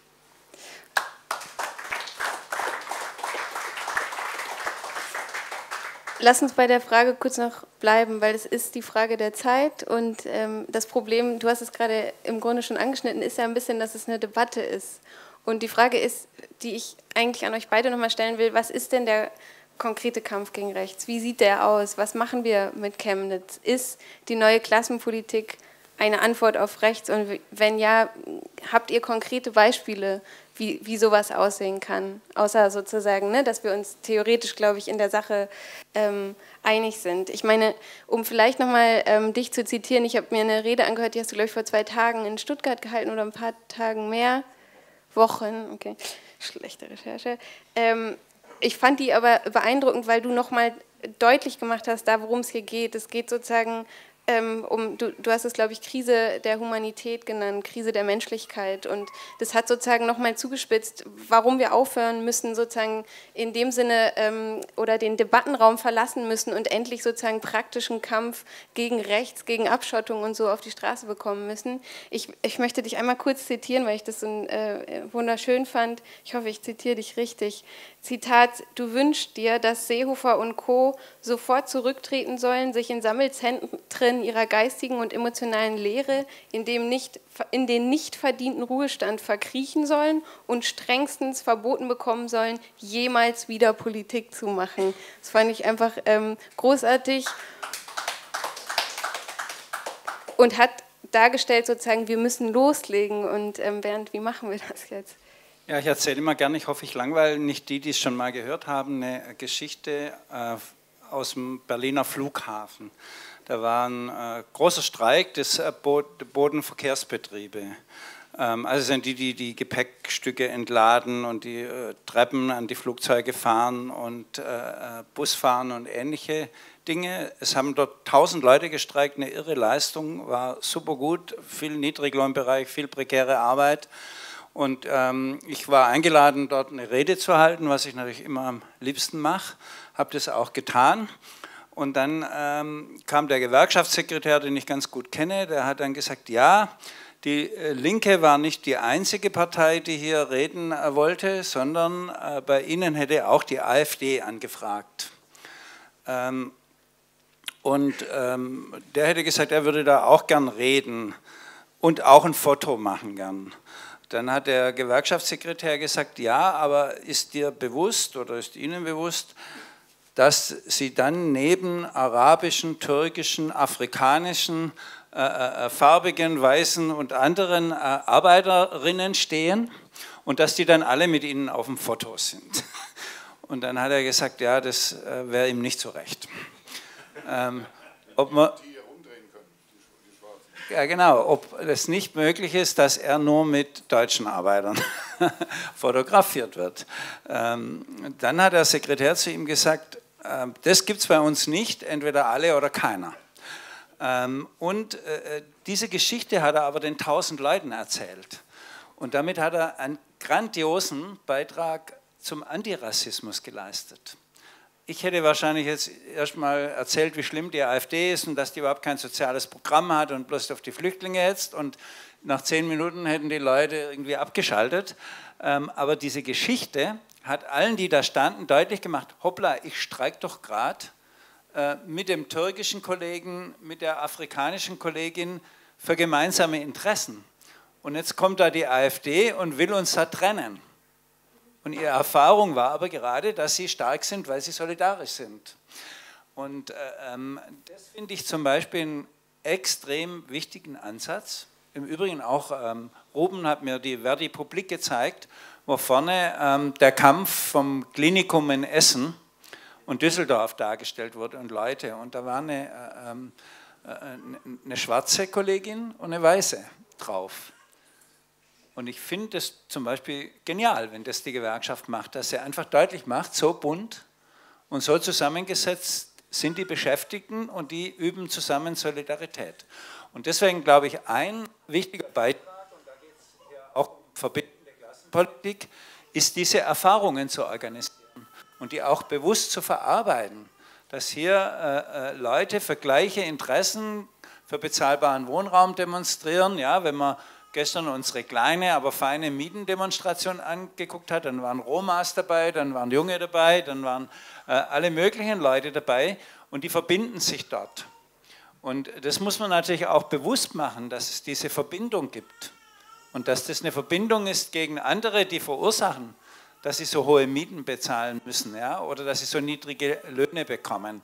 Und deswegen muss man diesen äh, antirassistischen ähm, das antirassistische Wording, das wir brauchen, muss man mit konkreten Erfahrungen verbinden. Und das ist ein Kernpunkt natürlich äh, äh, äh, verbindender äh, Klassenpolitik. Ansonsten bin ich der Meinung, dass es äh, völlig falsch ist, immer nur von sozial Verirrten zu reden, die nach äh, rechts gehen.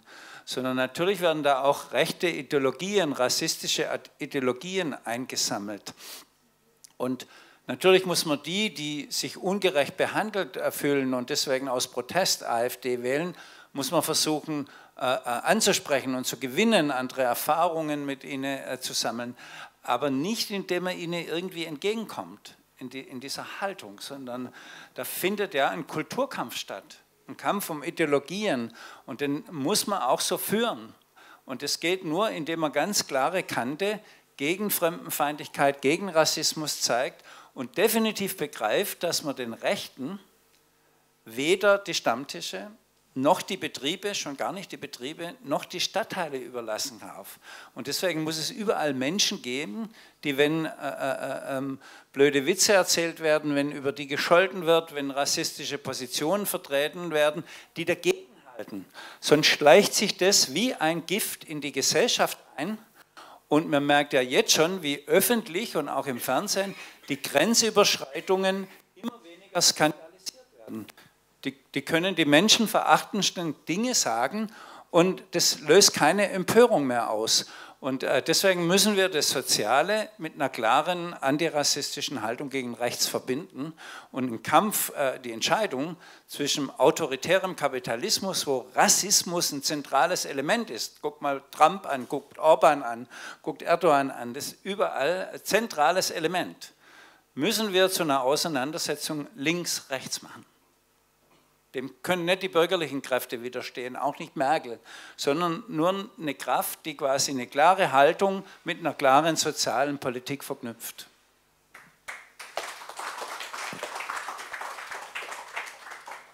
Ich würde gerne gleich ins Publikum übergehen. Ähm, ich habe noch eine letzte Frage. Wir können jetzt erstmal zusammenfassen, Neue Klassenpolitik heißt antisexistische, antirassistische, verbindende, praktisch werdende Klassenpolitik, um es mal in einem Satz zusammenzuknoten.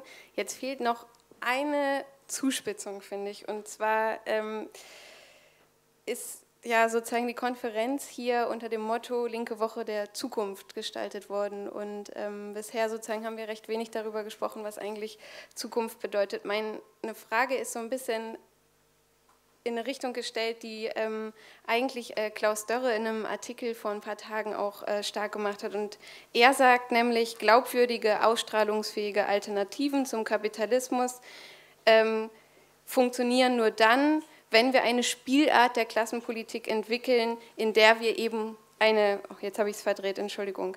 Er glaubt, nein, Entschuldigung.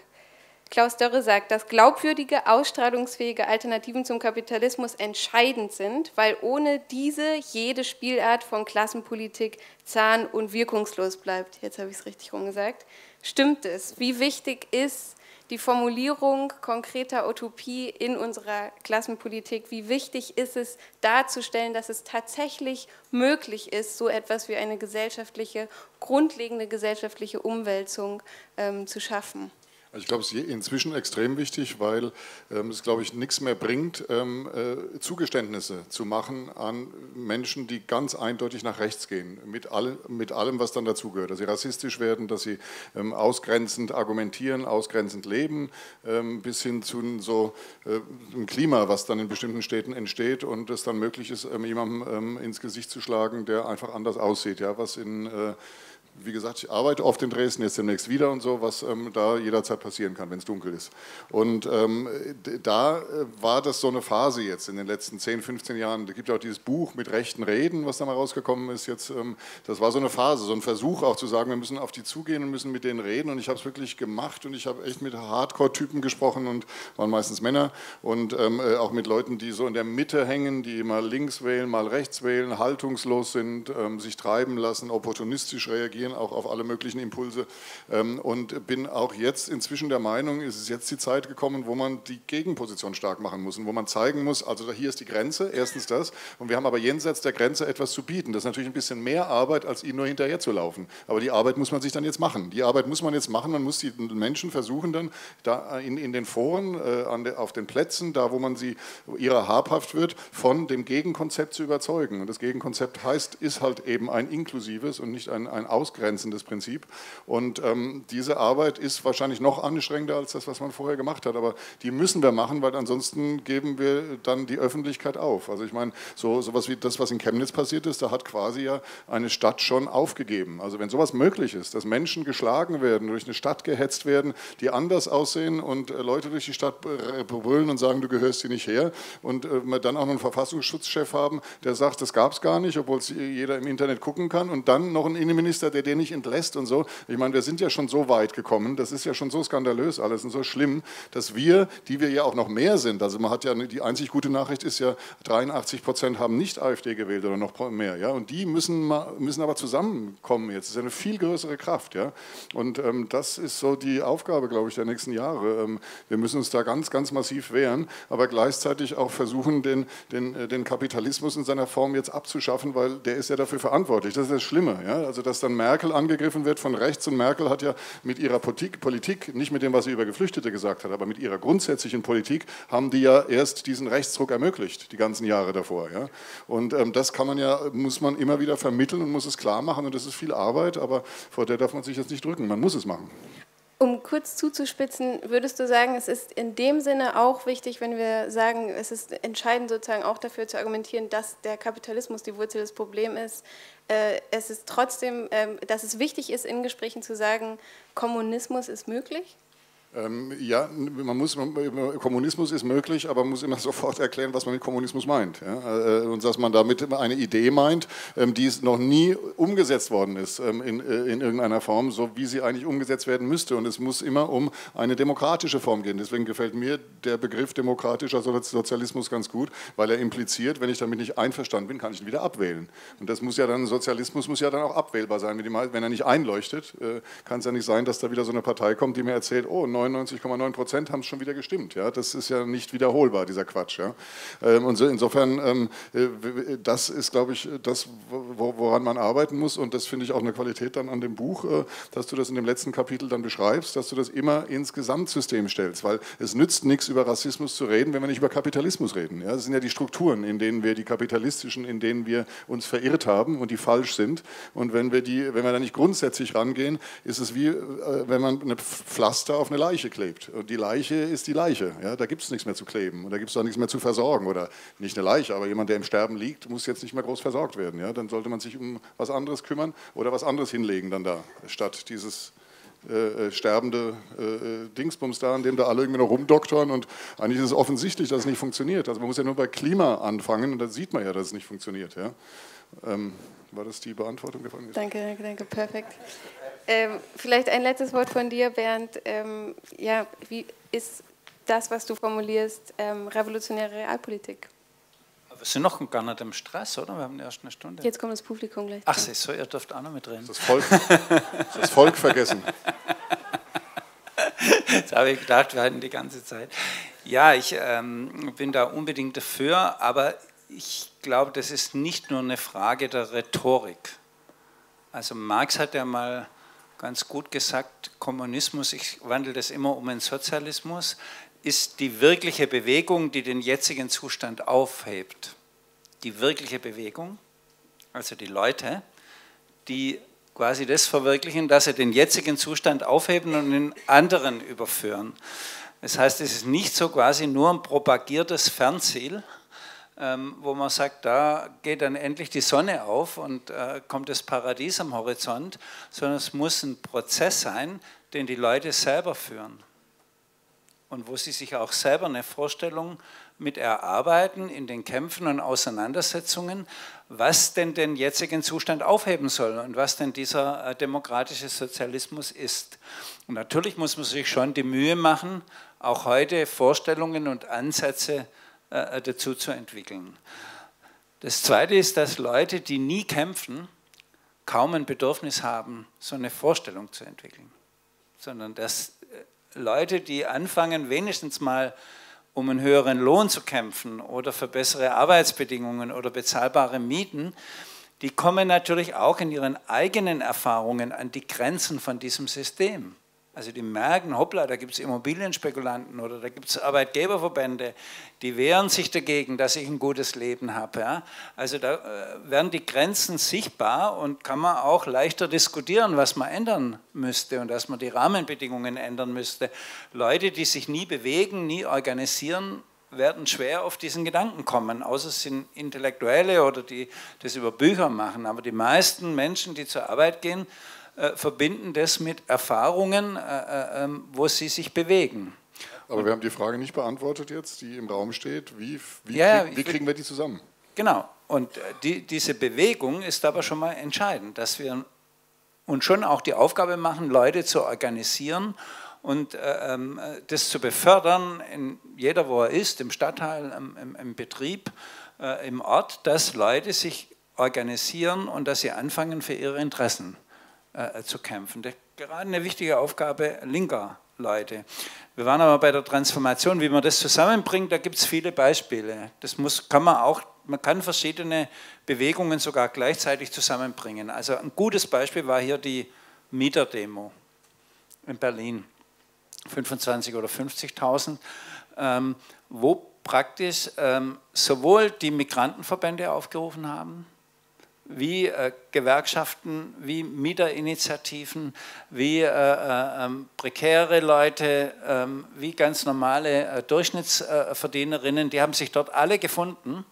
Das war ein äh, richtig gutes Beispiel, 200 oder 250 Organisationen aus dem migrantischen Flüchtlingsbereich, aus allen möglichen, aus dem feministischen Zusammenhang, die quasi gemeinsam auf die Straße gegangen sind. Solche Sachen entstehen nicht von alleine, die muss man bewusst organisieren und vorantreiben, sodass äh, diese Erfahrungen entstehen. Wir hatten zum Beispiel in Stuttgart gleichzeitig Streiks, war gar nicht zufällig, von Studierenden, Schülern und Erzieherinnen. Das war hochinteressant. Die haben für äh, kostenlose Bildung äh, äh, äh protestiert und die Erzieherinnen für einen besseren Lohn. Und hatten dann 10.000 Leute, 10.000 Erzieherinnen, Schüler und Studenten auf der Straße quasi die Mütter mit ihren Kindern zum Teil, sind nebeneinander hergelaufen. Solche Erfahrungen zu organisieren, äh, schafft diese Verbindungen. Die diskutieren dann auch ganz anders miteinander. Ivo war zum Beispiel dabei. Also ist jetzt nicht so eine Geschichte einfach, sondern es sind viele Erfahrungen. Oder ich war mit Müllwerkern im Streik in ähm, äh, äh Straßburg. Es war hochinteressant, da wir gegen diese Beugestein-Richtlinie, Liberalisierung demonstriert.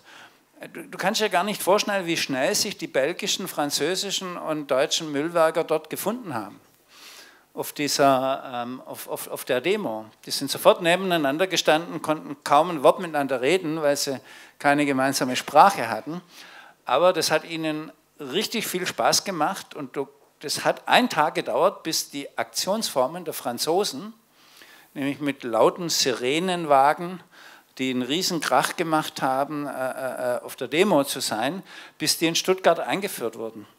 Als sie zurückkamen, hat es einen Tag gedauert, bis diese Sirenenwagen mit einem riesen Krach beim Streik waren.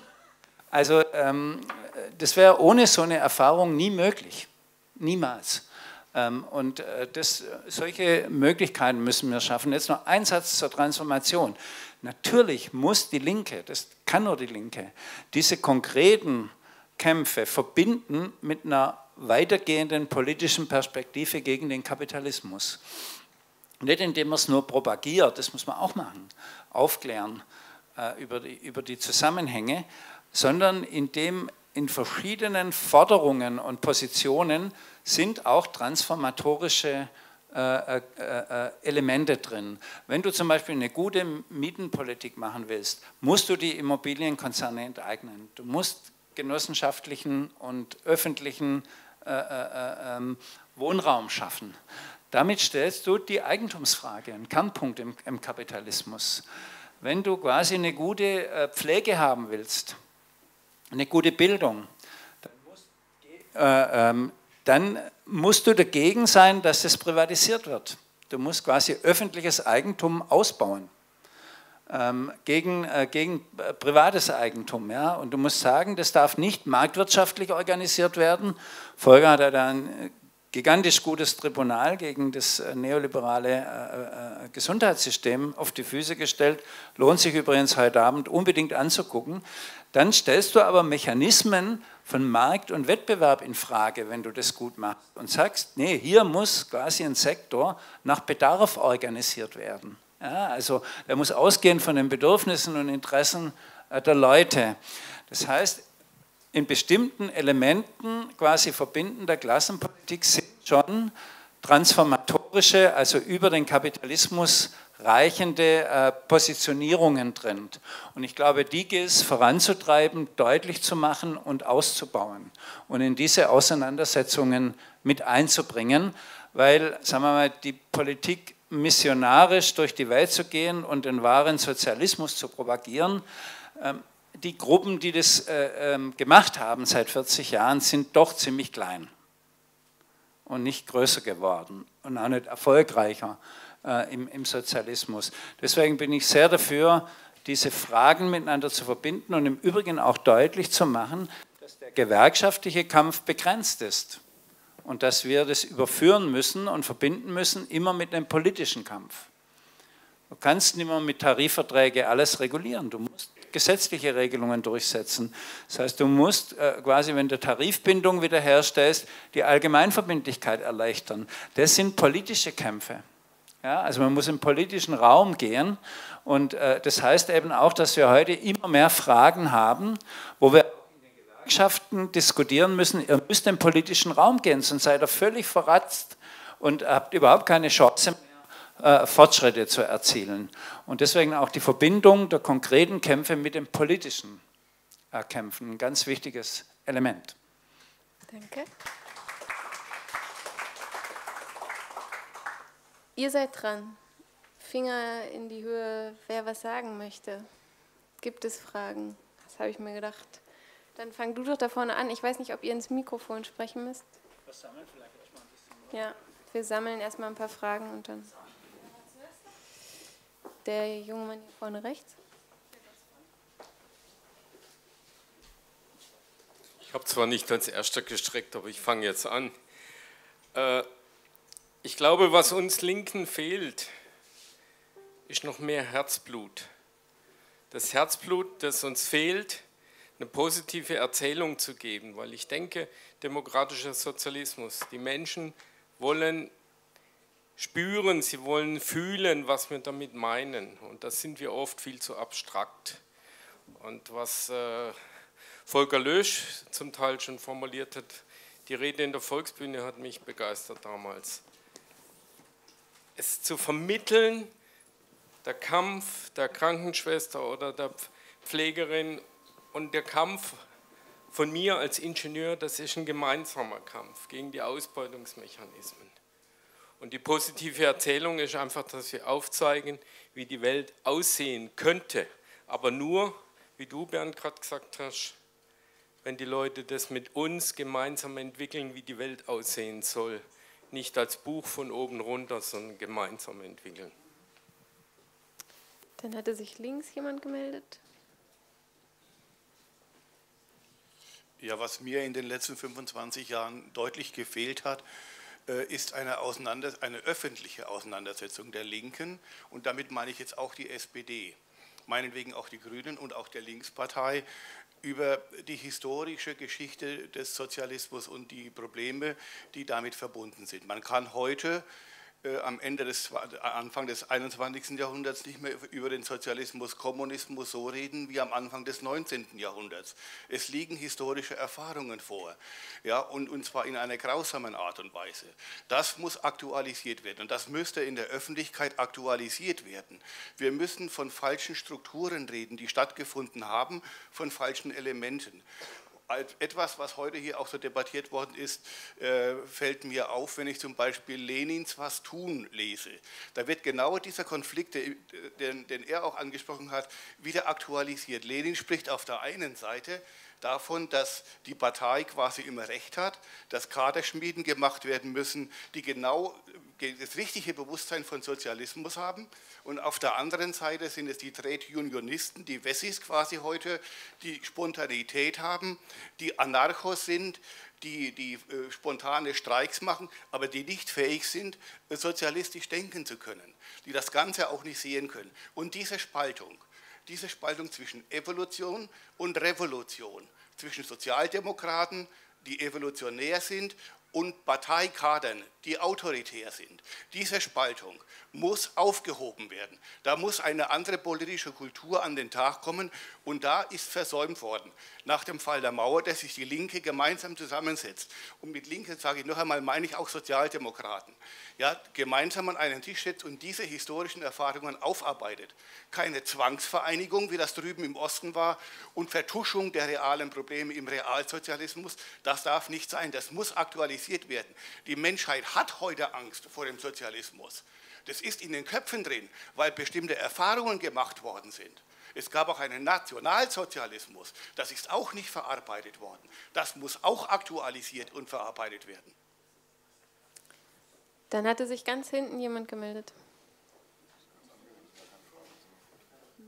Ja, ich möchte auch so zwei Sachen was sagen. Ähm, erstens finde ich auch, dass die Linke viel mit Schlagwörtern rumschmeißt, ja, ob das jetzt Sozialismus ist oder Kapitalismus oder Kampf und so weiter. Das steht mich also Volker auch an. Äh, ich finde, wir müssen viel mehr sagen, wie konkret das eigentlich aussehen sollte in einer nicht kapitalistischen Gesellschaft. Also wie wird da eigentlich produziert, wie wird das verteilt, wie ist da die Bildung, ähm, und vor allen Dingen ganz wichtig immer im Zusammenhang, warum du dann weniger Ängste hast, warum in einer nicht kapitalistischen äh, Gesellschaft du weniger Ängste hast, warum du da Spaß hast, warum das geil ist, eine andere Gesellschaft, eine nicht kapitalistische Gesellschaft.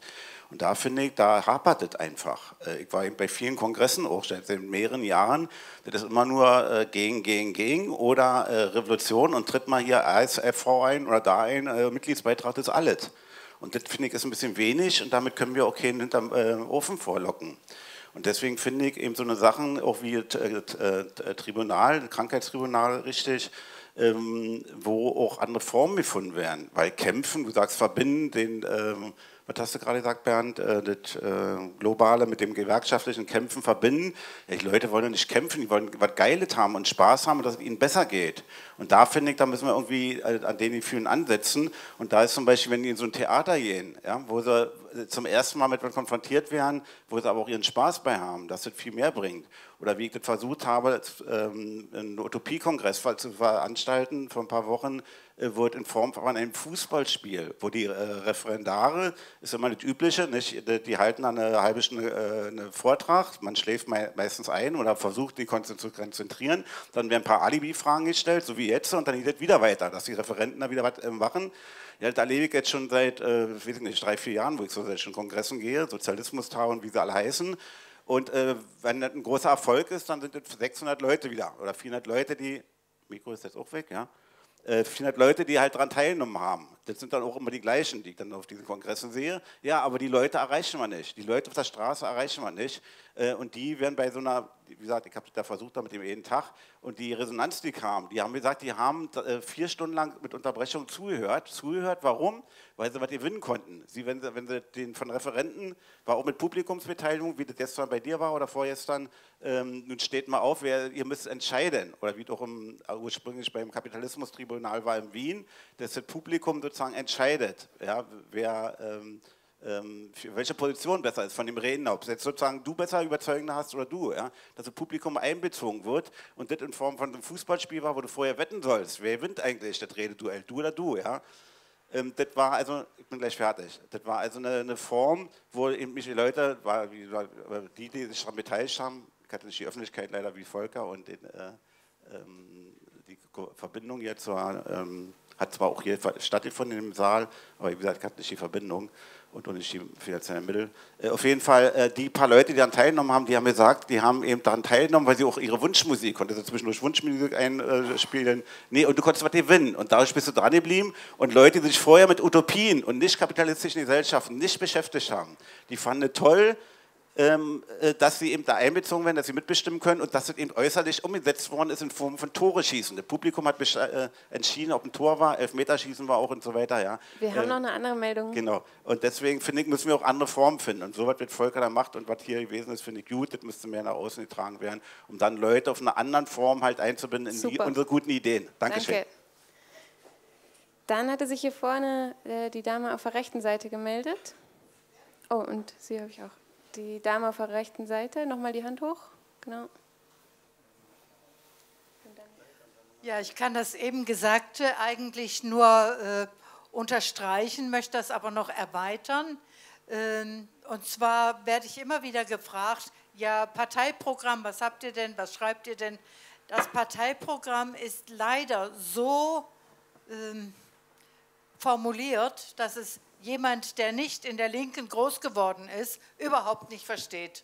Und da kann man noch so sehr Kritik äh, äußern und sagen, wir müssen eine normale Sprache sprechen, auch in einem Programm, ob es nun Wahlprogramm oder Parteiprogramm ist. Wir müssen eine Sprache sprechen, die der normale Verbraucher, der nicht zur Linken gehört, direkt verstehen kann, ohne dass man ihm gleich äh, drei Stunden was erklären muss der den Satz liest und sagt, aha, ich weiß Bescheid. So muss es formuliert sein. Und wir dürfen nicht uns immer darauf einlassen, dass sich dann irgendwelche äh, ja, Genossen dahingehend begeben. Das ist alles nicht professionell genug. Das muss man noch professioneller machen, nicht im Sinne von verständlich, sondern im Sinne von ähm, althergebrachter sozialistischer Terminologie. Und das müssen wir abstreifen. Das ist mir ganz wichtig, weil das wirklich das ist, was bei den Leuten im Hinterkopf dann hängen bleibt und ankommt. Wir haben noch zwei Meldungen. Sollen wir die noch rannehmen oder wollt ihr erstmal? Wir machen dann noch eine weitere, dann erstmal dran. Ja. Ja, ich teile den letzten Beitrag und den vorletzten ehrlich gesagt nicht. Ich verstehe auch gar nicht, warum man Fußballspielen und Kultur gegen Kämpfe stellen soll. Und die Leute nicht kämpfen. Ich meine, durch Fußballspielen kriegen die Erzieherinnen nicht mehr Geld. Das wissen sie auch. Deswegen spielen sie nicht Fußball, sondern gehen auf die Straße und streiken. Ähm, und, ähm, und, und andere auch nicht. Also von daher, und natürlich braucht eine linke Kultur. Ähm, Im Übrigen auch die Leute, die kämpfen, brauchen Kultur und, äh, äh, und dazu gehören auch neue Formen. Aber das steht doch nicht gegeneinander. Es ist im Übrigen auch hochinteressant. Also wer viele Streiks angeführt hat, ich beschreibe das auch ein bisschen, die Streikenden entwickeln auch Kultur.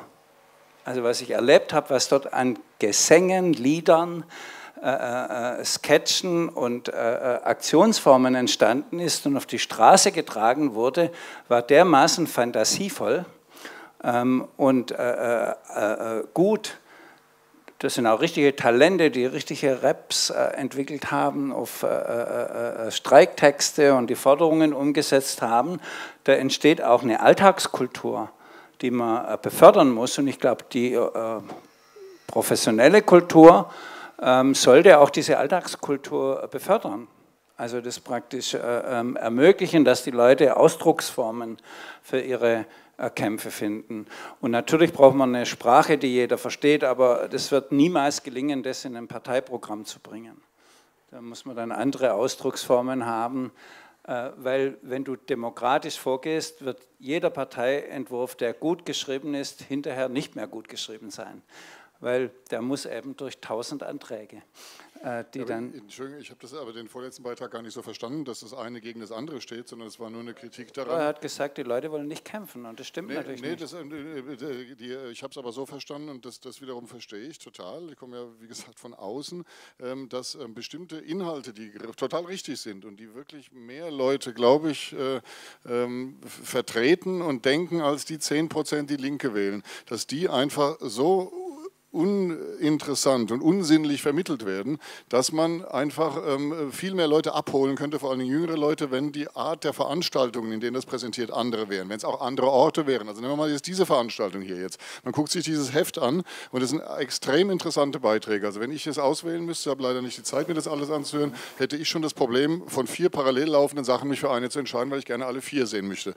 Jetzt findet es aber hier statt. Dieser Ort ähm, ist relativ unbekannt in Berlin, er liegt auch ein bisschen außerhalb und ähm, ist jetzt so, dass sich hier immer doch wieder dieselben Leute sammeln. Ja, aber das Potenzial wäre doch da für zwei, für drei, für vier, für 5.000 Leute, die sowas gucken könnten. Also mal darüber nachzudenken, ob man das mal anders präsentiert, an einem anderen Ort macht und versucht auch noch andere Leute hierher zu bekommen, ähm, das fände ich einen wichtigen Punkt, einen total wichtigen Punkt, weil ich finde das auch so verschenkte ähm, Energie für tolle Leute, die tolle Beiträge leisten, die teilweise aus ganz Europa kommen, ähm, hier sind. Ähm, beim Marx-Kongress war es genauso, da waren Veranstaltungen, das war ein sensationelles Thema tolle Leute aus Kanada, aus sonst was, es sind drei Leute drin ja, bei so Sachen. Und es hat auch etwas mit dem Ort zu tun, es hat auch etwas mit der Präsentation zu tun, mit mangelnder Werbung, mit einer ganz schlechten Öffentlichkeitsarbeit, äh, wie ich finde. Ähm, da findet nichts statt in, in, in, in den Zeitungen. Da, da, man sieht, es ist nicht da. Ja. Da wird jedes Drittligaspiel besser promotet ähm, als so eine Veranstaltung. Und da ist einiges zu tun, Bernd. Echt, da ist echt viel zu tun.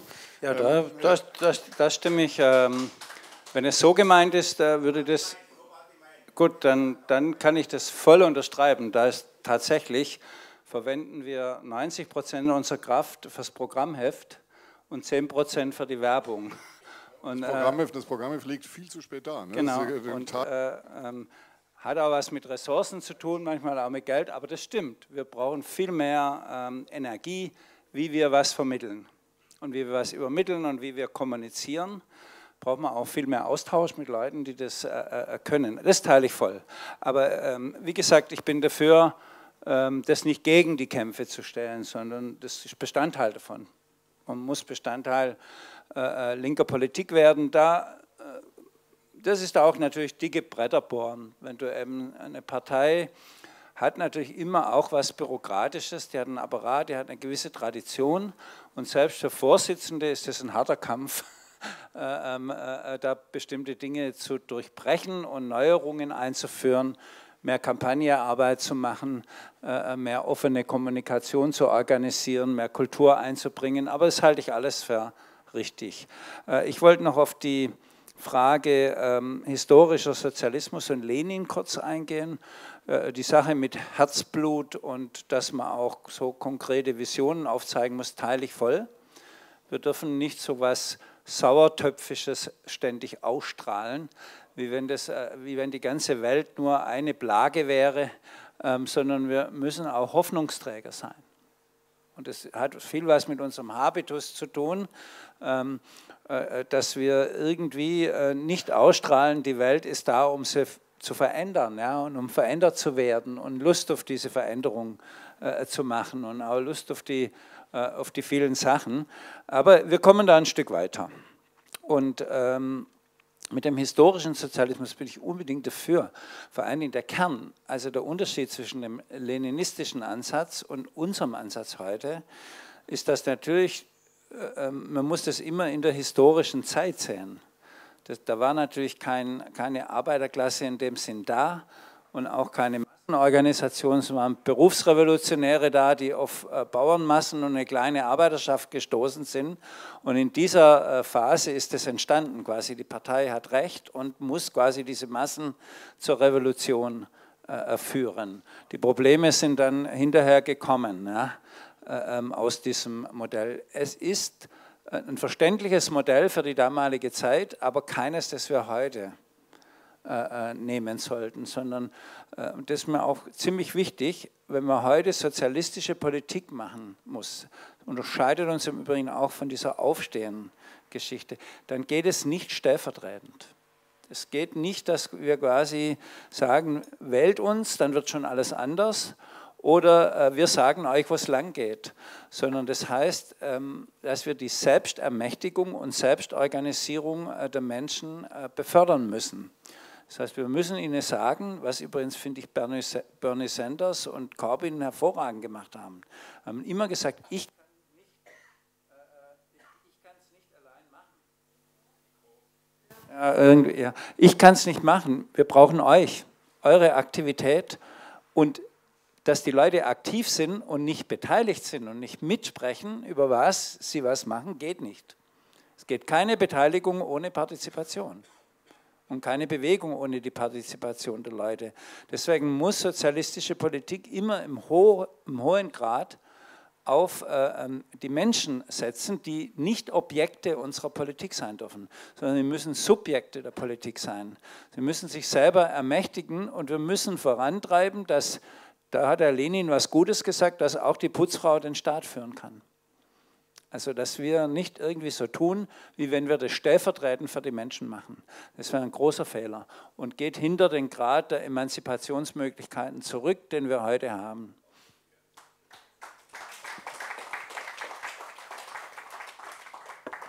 Ich hatte jetzt noch zwei Meldungen. Das geht es? Volker. Ähm, da hinten war noch eine Meldung und in der Mitte war noch eine Meldung. Ah, und du. Dann nehmen wir noch so drei, vier Meldungen ran und dann so, da fange ich an. Das, was der Haare, äh, der Adermann gesagt hat. Kann ich also wunderbar unterstützen, aber ich habe eine einzige andere Meinung dazu. Das ist die Frage der Begriffe. Ich bin eigentlich ganz froh, dass Begriff Klassen, Klassenkampf wieder in die Partei zurückkehrt. Wir haben ja die letzten 20 Jahre sehr wenig mit diesen Begriffen geführt. Und ich verstehe die Argumentation, die Sie vorgebracht haben. Aber äh, ich denke mal, mit diesen Begriffen können wir auch einen neue, neuen Aufschwung in die Partei reinbringen. Mich hat sowas angekotzt mit Begriffen wie Arbeitnehmer oder Arbeitgeber oder was alles mag an ihre Berechtigung haben, aber gehören da nicht in eine Partei rein. Und äh, was ist denn das anders? Wenn ich jetzt jemand erkläre, das, was die herrschende Klasse mit uns macht, ist nichts anderes als Klassenkampf von oben. Und das versteht der einfache Mensch. Da brauche ich keinen neuen Begriff zu erklären. Und ich denke, das müssten wir den Menschen an bestimmten Stellen immer mal wieder deutlich machen. Das ist Klassenkampf von oben. Und eine letzte Bemerkung die zwei Vorredner, das kann man ja beklagen, dass so wenig Leute da sind.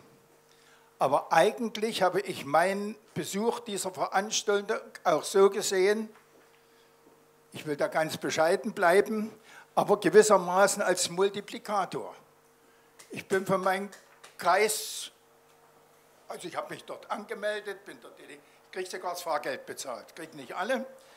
Das heißt aber gleich die Verpflichtung, dass ich bemüht sein werde, eine gründliche Auswertung vorzunehmen und auf bestimmte Tendenzen aufmerksam zu machen. Und ich sage ganz offen, äh, äh, da bin ich unserem Vorsitzenden dankbar, mit diesen Begriffen Klassenpolitik, Klassenkampf, Klassenbewusstsein werde ich hausieren gehen. Auch wenn das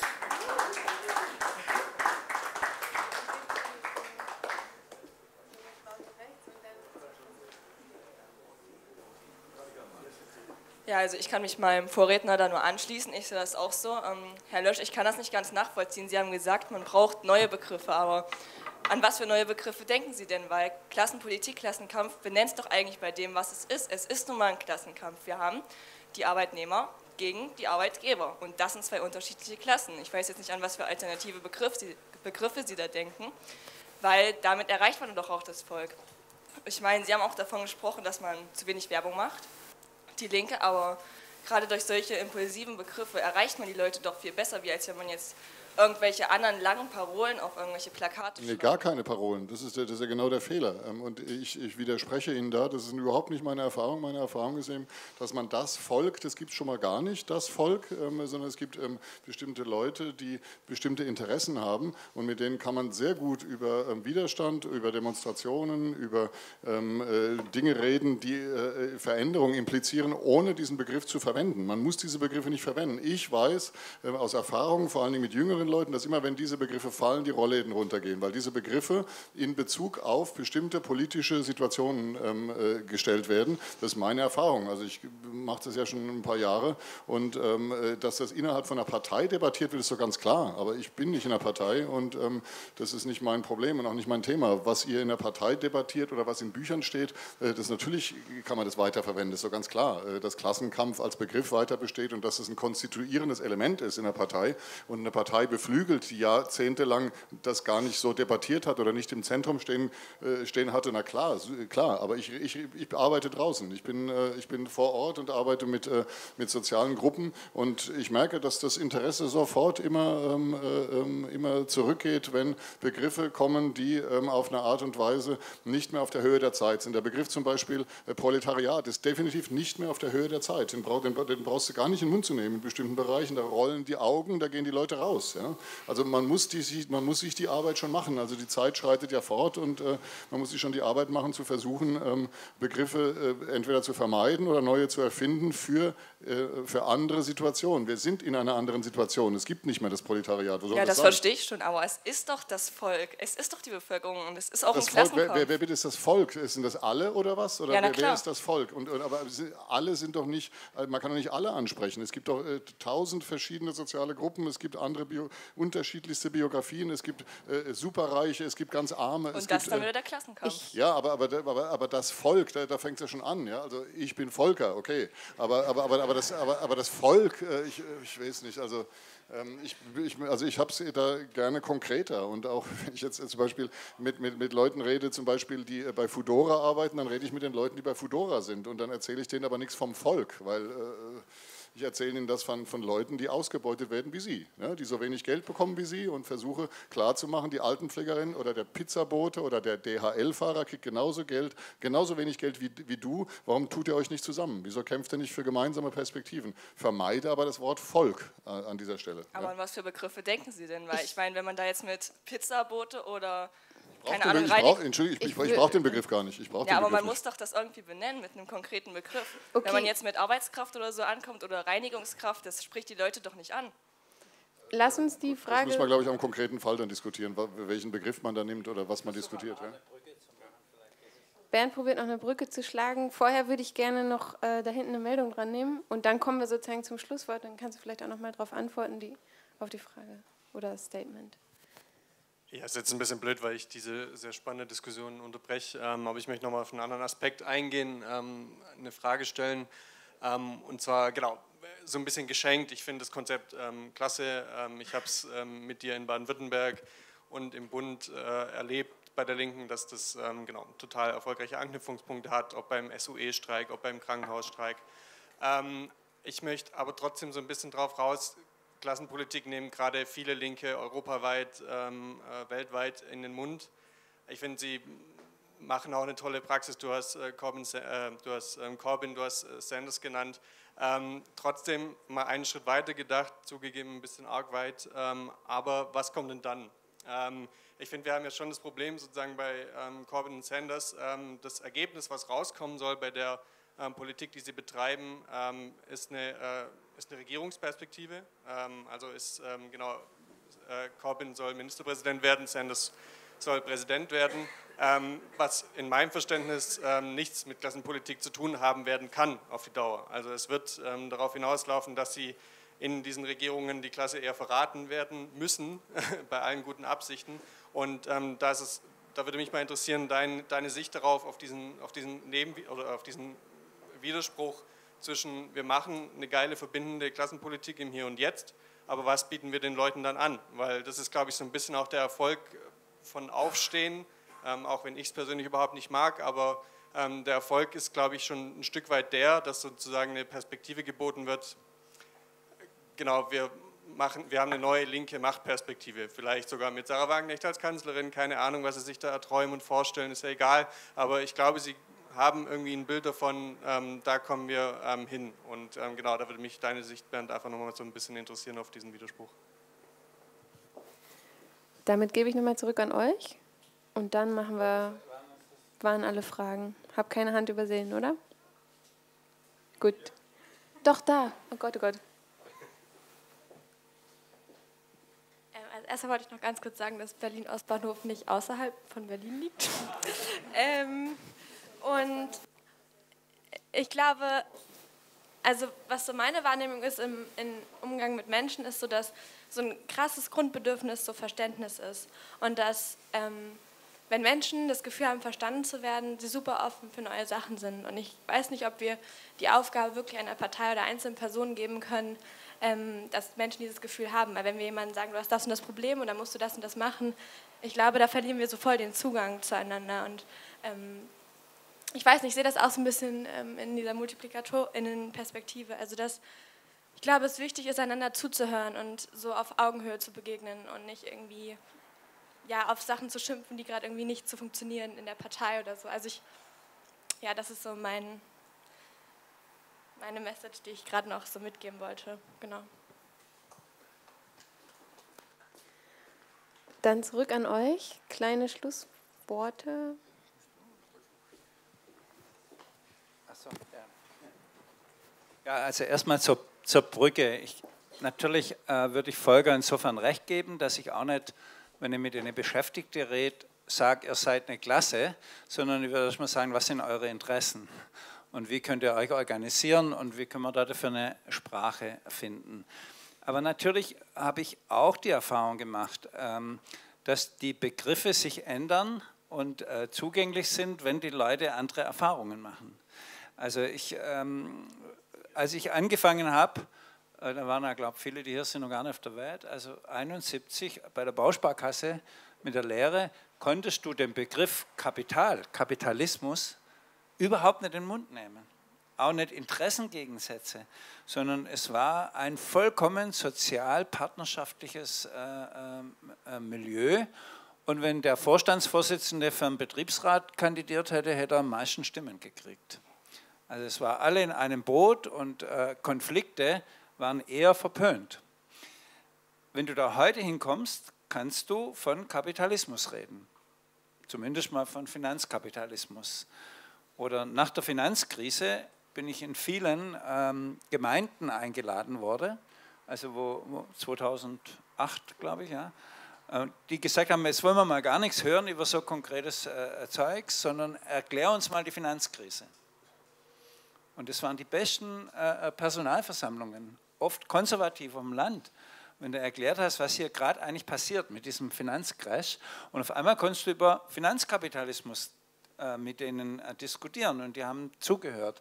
Also die Begriffe ändern sich auch oder der Zugang zu Begriffen und die Identifizierung damit, wobei ich überhaupt nichts dagegen habe, wenn man auch neue Begriffe entwickelt. Aber ich glaube jetzt gar nicht, dass man über Arbeiterinnenklasse nicht reden könnte oder so. Also das, aber natürlich gibt es da viele Zwischenstationen, die man äh, einschlagen muss und ich, ich glaube, dass man nicht so ein Widerspruchsgebilde da auf, äh, aufbauen braucht. Die Frage der, der Regierung, ich meine, natürlich geht es irgendwann auch um eine linke Regierung. Also ich meine, äh, Sozialismus heißt ja schon auch, dass du den Staat übernimmst außer du denkst, das wird in einem revolutionären Akt äh, weggefegt ähm, und, ähm, und äh, äh, danach kommt dann äh, der große Prozess. Das bezweifle ich, dass wir da davor sind. Aber ich würde jetzt gerade sagen, wenn die Linke eine Regierung einginge, würde sie scheitern. Ähm, weil du kannst grundsätzlich nur unter zwei Bedingungen eine Regierung eingehen. Das erste ist, dass du ein wirkliches Programm der Verbesserung hast und das auch gemacht wird. Also wenn wir eine Regierung eingehen, wo quasi nur so kleine Fortschritte wären wie jetzt, ähm, äh, äh bei der Großen Koalition zum Beispiel, plus 20 Prozent oder was weiß ich, würden wir scheitern. Weil mit der Linken wird verbunden, es muss sich grundlegend was ändern. Wenn sich grundlegend nichts ändert und du das nicht durchsetzen kannst mit 10 Prozent, sollst du lieber die Finger davon lassen und gucken, dass du 15 oder 20 kriegst. Ähm, das Zweite, mindestens genauso wichtige, und da sind wir bei der verbindenden Klassenpolitik, die, die, die Verhältnisse werden nicht nur in der Regierung oder im Parlament verändert. Die Gesellschaft, das ist der gesellschaftliche Überbau. Es gibt einen gesellschaftlichen Unterbau, die Ökonomie, wie Leute ihre ökonomischen Interessen durchsetzen können. Das kann heute das Kapital viel besser wie andere. Ja? Also wirtschaftliche Macht schlägt da immer auch in politische Macht um. Das heißt, die Kräfteverhältnisse werden ganz stark davon geprägt, äh, was findet denn in der Gesellschaft selber statt? Wie viele Streiks finden statt? Wie viele Demonstrationen? Gibt es eine Linksbewegung äh, der Bevölkerung? Und das ist der Teil, der entscheidend ist. Eine Linke kann erst dann regieren, nach meinem Dafürhalten, wenn es quasi Unterstützung von der Straße gibt und von der Bevölkerung. Wenn man nur vorstellt, wir würden, also ich habe mal ein bisschen erlebt bei den Grünen, als die diese lächerliche äh, Vermögensteuer, die sie da konzipiert hatten, das war nicht mal eine regelmäßige, sondern eingebracht hatten, hatten sie auf einmal die ganzen äh, Medien gegen sich. Und die haben dann wirklich eine Kampagne gemacht um Pädophilen-Debatte mit äh, Trittin und anderen. Sie haben geschafft, die Grünen ziemlich weit runterzubringen. Nicht wegen der pädophilen Debatte und auch nicht wegen dem WGD, sondern weil sie als bürgerliche Partei gewagt hatten, ein bisschen mehr Steuer von dem Bürgerlichen zu verlangen. Wenn man sich mal vorstellt, unser Konzept der Vermögensteuer und unser Umverteilungskonzept wäre Gegenstand von Koalitionsverhandlungen, ernsthafte, ernsthafter Gegenstand, nicht irgendwie zum Verschachern, ja, was da los wäre in der Gesellschaft, welcher, äh, ähm, welcher konzertierte Akt da der Kapitalseite stattfinden würde. Die, äh, die würden den Teufel an die Wand malen. Der Untergang des Abendlandes wäre noch das geringste dagegen. Ja? Äh, die ganzen Arbeitsplätze würden nach was der Teufel wo verlagert. Alles. Ja, jetzt aber erstmal in dem Vorfeld würde da ein, eine Auseinandersetzung stattfinden. Sowas, sowas haben wir noch überhaupt noch nie erlebt. Und wenn du das bestehen willst, dann brauchst du eine starke, wirklich eine starke gesellschaftliche Bewegung von Gewerkschaften, von Sozialverbänden, von Leuten, die diese Politik der Linken tragen und unterstützen in der gesellschaftlichen Auseinandersetzung. Und das ist meines Erachtens der entscheidende Punkt. Und eine Linke, die was verändern will, muss neben Wahlen äh, zu gewinnen, muss sie genau diesen Prozess mit organisieren. Die gesellschaftliche Kräfteverschiebung in der Gesellschaft. Und das sind für mich äh, äh, Klassenkämpfe. Und es sind für mich verbindende äh, äh, Klassenpolitik, die wir da brauchen. Ähm, nicht mit dem Begriff rausgehen, sondern wie du es beschrieben hast, es machen und dadurch äh, Kräfteverhältnisse in der Gesellschaft ändern. Und das ist eine wichtige Aufgabe und jeder, der dort Abkürzungen verspricht, wird natürlich die Leute enttäuschen. Dass man meint, man könnte irgendwie suggerieren, das machen wir dann schon stellvertretend und wenn nur ich gewählt werde oder die oder die, dann wird es passieren. Wird, das wird sie zurückholen. Das sieht man ja selbst in Lateinamerika, wie äh, quasi nur kurzfristig solche Politikelemente wirken können. Wenn du nachhaltig die Gesellschaft veränderst, musst du schon ein bisschen mehr auf die Füße bringen ähm, als nur irgendwelche Wahlversprechungen zu machen.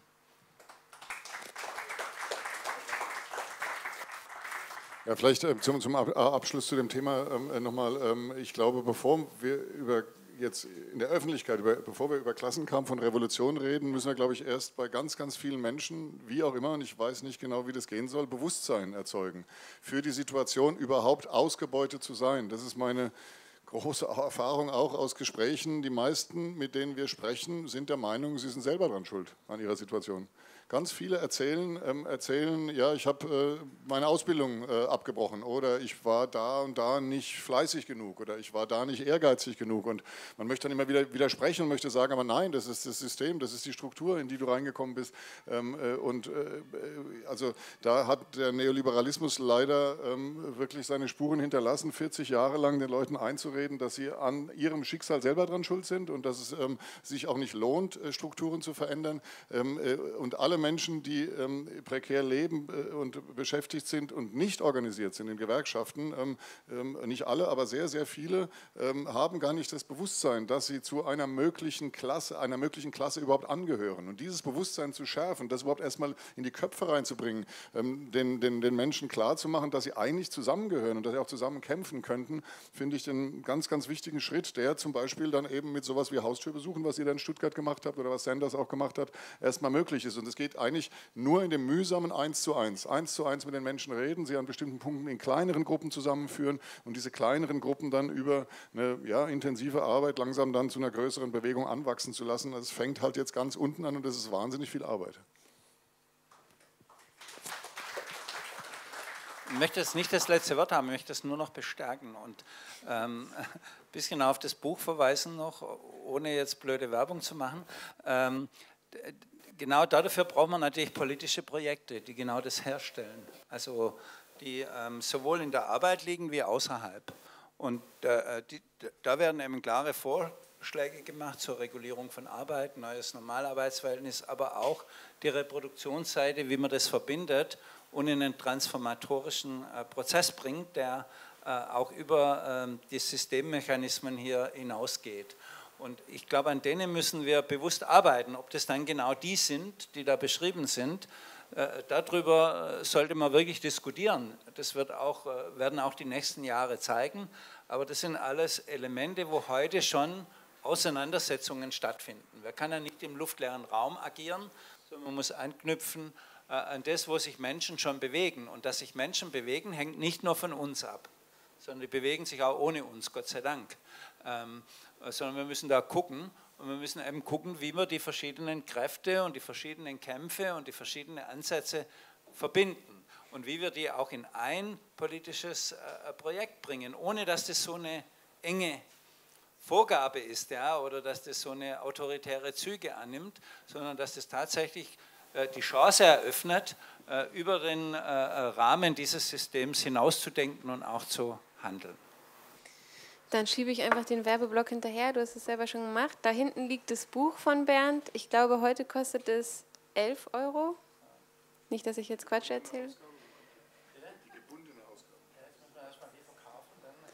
habe schon eine Wette abgeschlossen, wenn wir nachdrucken müssen, was kriege ich eine, also wenn ihr wollt, dass ich eine Kiste guten Wein kriege, müsst ihr es gut kaufen, weil dann muss eine zweite Auflage gemacht werden. Ist, glaube ich, äh, angekommen. Ne? Und heute Abend ist die zweite Inszenierung nochmal. Ich, Aufführung um 20.15 20.15 Uhr ist Einlass und 20.30 Uhr geht's los. Im Hof. Draußen im Hof. Draußen im Hof, hier direkt vor Ort. Danke für eure Fragen. Ähm, wir sehen uns draußen im Hof bei Zigarette und Kaffee oder was auch immer.